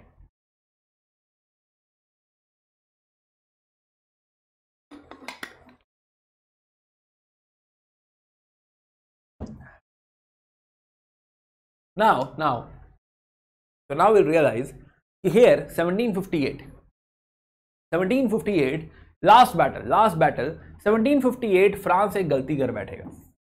राइट है ना कि हाँ भाई बहुत बेजती हो रखी है, कुछ बदला लेंगे, कुछ करेंगे। तो काउंट डी रैली है उस समय काउंट डी रैली राइट ये ये जो है, अंग्रेज़ी जो फोर्ट है सेंट डेविड उस पर अटैक कर देंगे और विजिया नगरम पे अटैक कर देंगे। अगेन लड़ाई वहाँ की है, यहाँ ज़बरदस्ती इसको कैरी फॉरवर्ड कर दिया। तो विजया नगरम यहाँ कहीं है, विजया नगरम। राइट तो यहाँ पे कहीं जो है, ये इस पर अटैक कर देंगे। राइट नाउ अंग्रेज़ कहेंगे अच्छा भाई, आप हमको हल्के में ले रहे हो। राइट right, सोचा भी कैसे आपने ऐसा कि आप अटैक कर दोगे यहाँ पे बच जाओगे? Right it is it is close to impossible तो now English English will attack right तो इंग्लिश विल स्टार्ट अटैकिंग और ये ये फ़ेमस बैटल है battle of Wandiwash 1760 right यहाँ पे जनरल आयरकूट हरा देंगे अंग्रेज़ों को. राइट सॉरी फ्रांस को. तो यहाँ पे जो फ्रेंच आर्मी है ये कंप्लीटली हार जाएगी. पूरी तरह से हार जाएगी और ये पूरा गेम यहाँ पे खत्म हो जाएगा. राइट है ना? And from here from here जो आपके बसी भी बैठे हुए थे वहाँ पे हैदराबाद में, उनको भी जेल में डाल दिया। प्लस लली को, लैली को भी जेल में डाल दिया। लैली को यहाँ से लेके जाएँगे लंदन। लंदन से भेज देंगे फ्रांस की। जाओ भाई, घर जाओ अपने। फ्रांस में फिर जेल में डाल देंगे उसको। फिर एग्जीक्यूट कर देंगे लैली को कि तुम्हारी वजह से सब हुआ है। तो टेक्निकली टेक्निकली बड़ा नुकसान हो गया है। राइट है ना? बड़ा नुकसान हो गया। पौंडीचेरी भी लूज कर गया। पौंडीचेरी को भी सरेंडर करना पड़ गया। तो नाउ इट्स लाइक जो है अप्रूट ही कर दिया अंग्रेज़ों ने। आखिरी वॉर में एकदम कहानी खत्म कर दी। जड़ से खत्म कर दिया। Right and then final treaty treaty भी घर पे हो रही है. ब्रिटेन और फ्रांस में घर पे ट्रीटी हो रही है. ट्रीटी ऑफ़ पेरिस और ट्रीटी ऑफ़ पेरिस में ये डिस्कशन हुआ कि भाई फ्रांस को कम से कम बिज़नेस करने दो यार. राइट है ना? घर से भगाओ मत. है ना? इनको ज़्यादा आर्मी नहीं रख सकते, बहुत ज़्यादा फोर्टिफिकेशन वगैरह कुछ नहीं कर सकते बट इनको पौंडिचेरी वापस दे दो. पौंडिचेरी वापस दे दो. वहीं पे अपना छोटा मोटा बिज़नेस करते रहेंगे. राइट हैंड एंड जो है let them let them survive तो ये रहेंगे फ्रांस यहाँ पे से रहेगा. बट क्या इसके आगे कोई रेलेवेंस है? ना इसके आगे कोई फ्रांस की रेलेवेंस नहीं है। तो समझो इस बात को कि नाउ फ्रॉम हेयर ऑनवर्ड्स तो हमने समझा कि भाई 1605 से जो कहानी शुरू हुई है 1605 तो 1605 से जो ग्रोथ है this is this is as a business trader right लेकिन 1605 से 1640 तक की जो कहानी है, वो एज अ ट्रेडर है बट 1640 से 1660 तक आते आते अरे सॉरी 1716 क्या है? 1740 से 1760 which is Anglo-French rivalry, Anglo-French rivalry. Right right, यहाँ तक आते आते हम देख रहे हैं कि अब गेम चेंज हो रहा है काफ़ी। पहले ट्रेड की बात थी बट यहाँ तक आते आते पॉलिटिकल बात हो रही है। इनफैक्ट बैकग्राउंड में एक और बड़ी चीज़ हो चुकी है। बैकग्राउंड में they have already won battle of Plassey ये बात करेंगे नेक्स्ट क्लास में। बैटल ऑफ़ प्लासी 1757 राइट तो ये बंगाल ऑलरेडी हरा चुके हैं। तो बंगाल का जो रिसोर्सेस था, वो भी ऑलरेडी अंग्रेज़ों के पास था। तो फ्रांस पता नहीं क्या सोच रहा था उसे कैसे लगा कि हाँ वो हरा सकता था यहाँ पे अंग्रेज़ों को। It was next to impossible अंग्रेज़ों को यहाँ पे हराना। और यहाँ से जो अंग्रेज़ों का जो rise of East India Company होगा वो हमें हमारी अगली कहानी है कि rise of East India Company किस तरीके से हो रही है ये नेक्स्ट स्टोरी है। Right right. अच्छा अगेन अगेन क्या क्या यहाँ पे फ्रांस बाहर हो चुका है? विल रियलाइज़ अगेन कि जो भी आया था फ्रांस क्या फ्रांस गेम से बाहर हो चुका है? Yes yes. क्या क्या जो है आ, हमने बात करी थी कि 1612 में पोर्चुगीज को हरा दिया था एंड धीरे धीरे पोर्चुगीज क्या गेम से बाहर हो चुका है? यस. प्लस प्लस डच की बात करें तो 1667 की 1667 में ही क्लैरिटी आ गई थी तो टेक्निकली डच भी बाहर हो चुका है। डच अपना इंडोनेशिया में देखेगा। प्लस यहाँ पे भी 1759 में भी डच को एक बार हराया है। बैटल ऑफ़ बेदारा ये भी पीछे लिखा था आपने। तो जो जितने भी लोग आए थे, अब सब बाहर हो चुके हैं, कोई गेम में नहीं। राइट है ना? जो है, कोई नहीं है टक्कर में, क्या पड़े हो चक्कर में? ऐसा सुना है? तो हाँ वैसा ही है कि भाई, अब कोई भी नहीं है टक्कर में। तो अब यहाँ पे कोई भी यूरोपियन कंपनी नहीं है जो ईस्ट इंडिया कंपनी को चैलेंज करे एंड दिस इज़ वाई यहाँ से rise of East India Company चालू करेगा without any any any challenge from these European companies तो I hope you got this point तो यहाँ पे हमने तीन बैटल्स की बात करी एंग्लो फ्रेंच राइवलरी की बात करी। राइट है ना? प्लीज़ पढ़िएगा इसे। क्यों अंग्रेज़ जीते? दिस इज़ समथिंग जो है I am giving as homework पढ़िएगा इसको। राइट है ना? बहुत ईजी है, ऐसा कुछ भी नहीं है। And let me know comment में कि हाँ कहीं पे कोई डाउट हो तो। एक छोटी सी बात रह रही है डेट्स तो देखो जो डेन्स आए थे डेन्स डेन्स बेसिकली जो है ये भी 1616 में आए हैं। तो 1605 1609 11 के आसपास अंग्रेज़ एंड देन 1616 में डेन्स की एंट्री बट ये हमारे लिए रेलेवेंस इसलिए नहीं है क्योंकि ये सिर्फ़ और सिर्फ़ क्रिश्चियनिटी स्प्रेड कर रहे हैं। सिर्फ़ और सिर्फ़ क्रिश्चियनिटी तो इनका मेजर फोकस यही है। जो भी ये लोग थोड़ी बहुत फैक्ट्री लगाएँगे, अंग्रेज़ों को बेच देंगे। एक ही आज सेंटर है जो हमारे लिए इंपॉर्टेंट है which is one is Tranquebar एक तंजौर में। है ना? तो तंजौर में ट्रैंक जो है सेंटर हो गया ट्रैंक के बार तंजौर के पास। और दूसरा सेरमपुर नियर कैलकटा बस दो ही सेंटर हैं, बाकी और कोई कहानी नहीं है। राइट है ना? ट्रैंक के बार एंड जो है ट्रैंक के बार एंड जो है सेरापुर दैट्स इट और कोई कहानी नहीं. Right so now the question arises कि अंग्रेज़ ही क्यों जीते? है ना? तो ये जैसे कि मैंने कहा कि आपका होमवर्क है, आप पढ़ेंगे। बाकी बाकी हम लोग फिर मिलेंगे नेक्स्ट क्लास में. राइट है ना? I know it's a class but but UPSC थोड़ा मेहनत माँगता है. पढ़ाई करिए आप एंड मेहनत करिए. बाकी हम लोग मिलते हैं in the next session bye take care and here I sign off जय हिंद बाय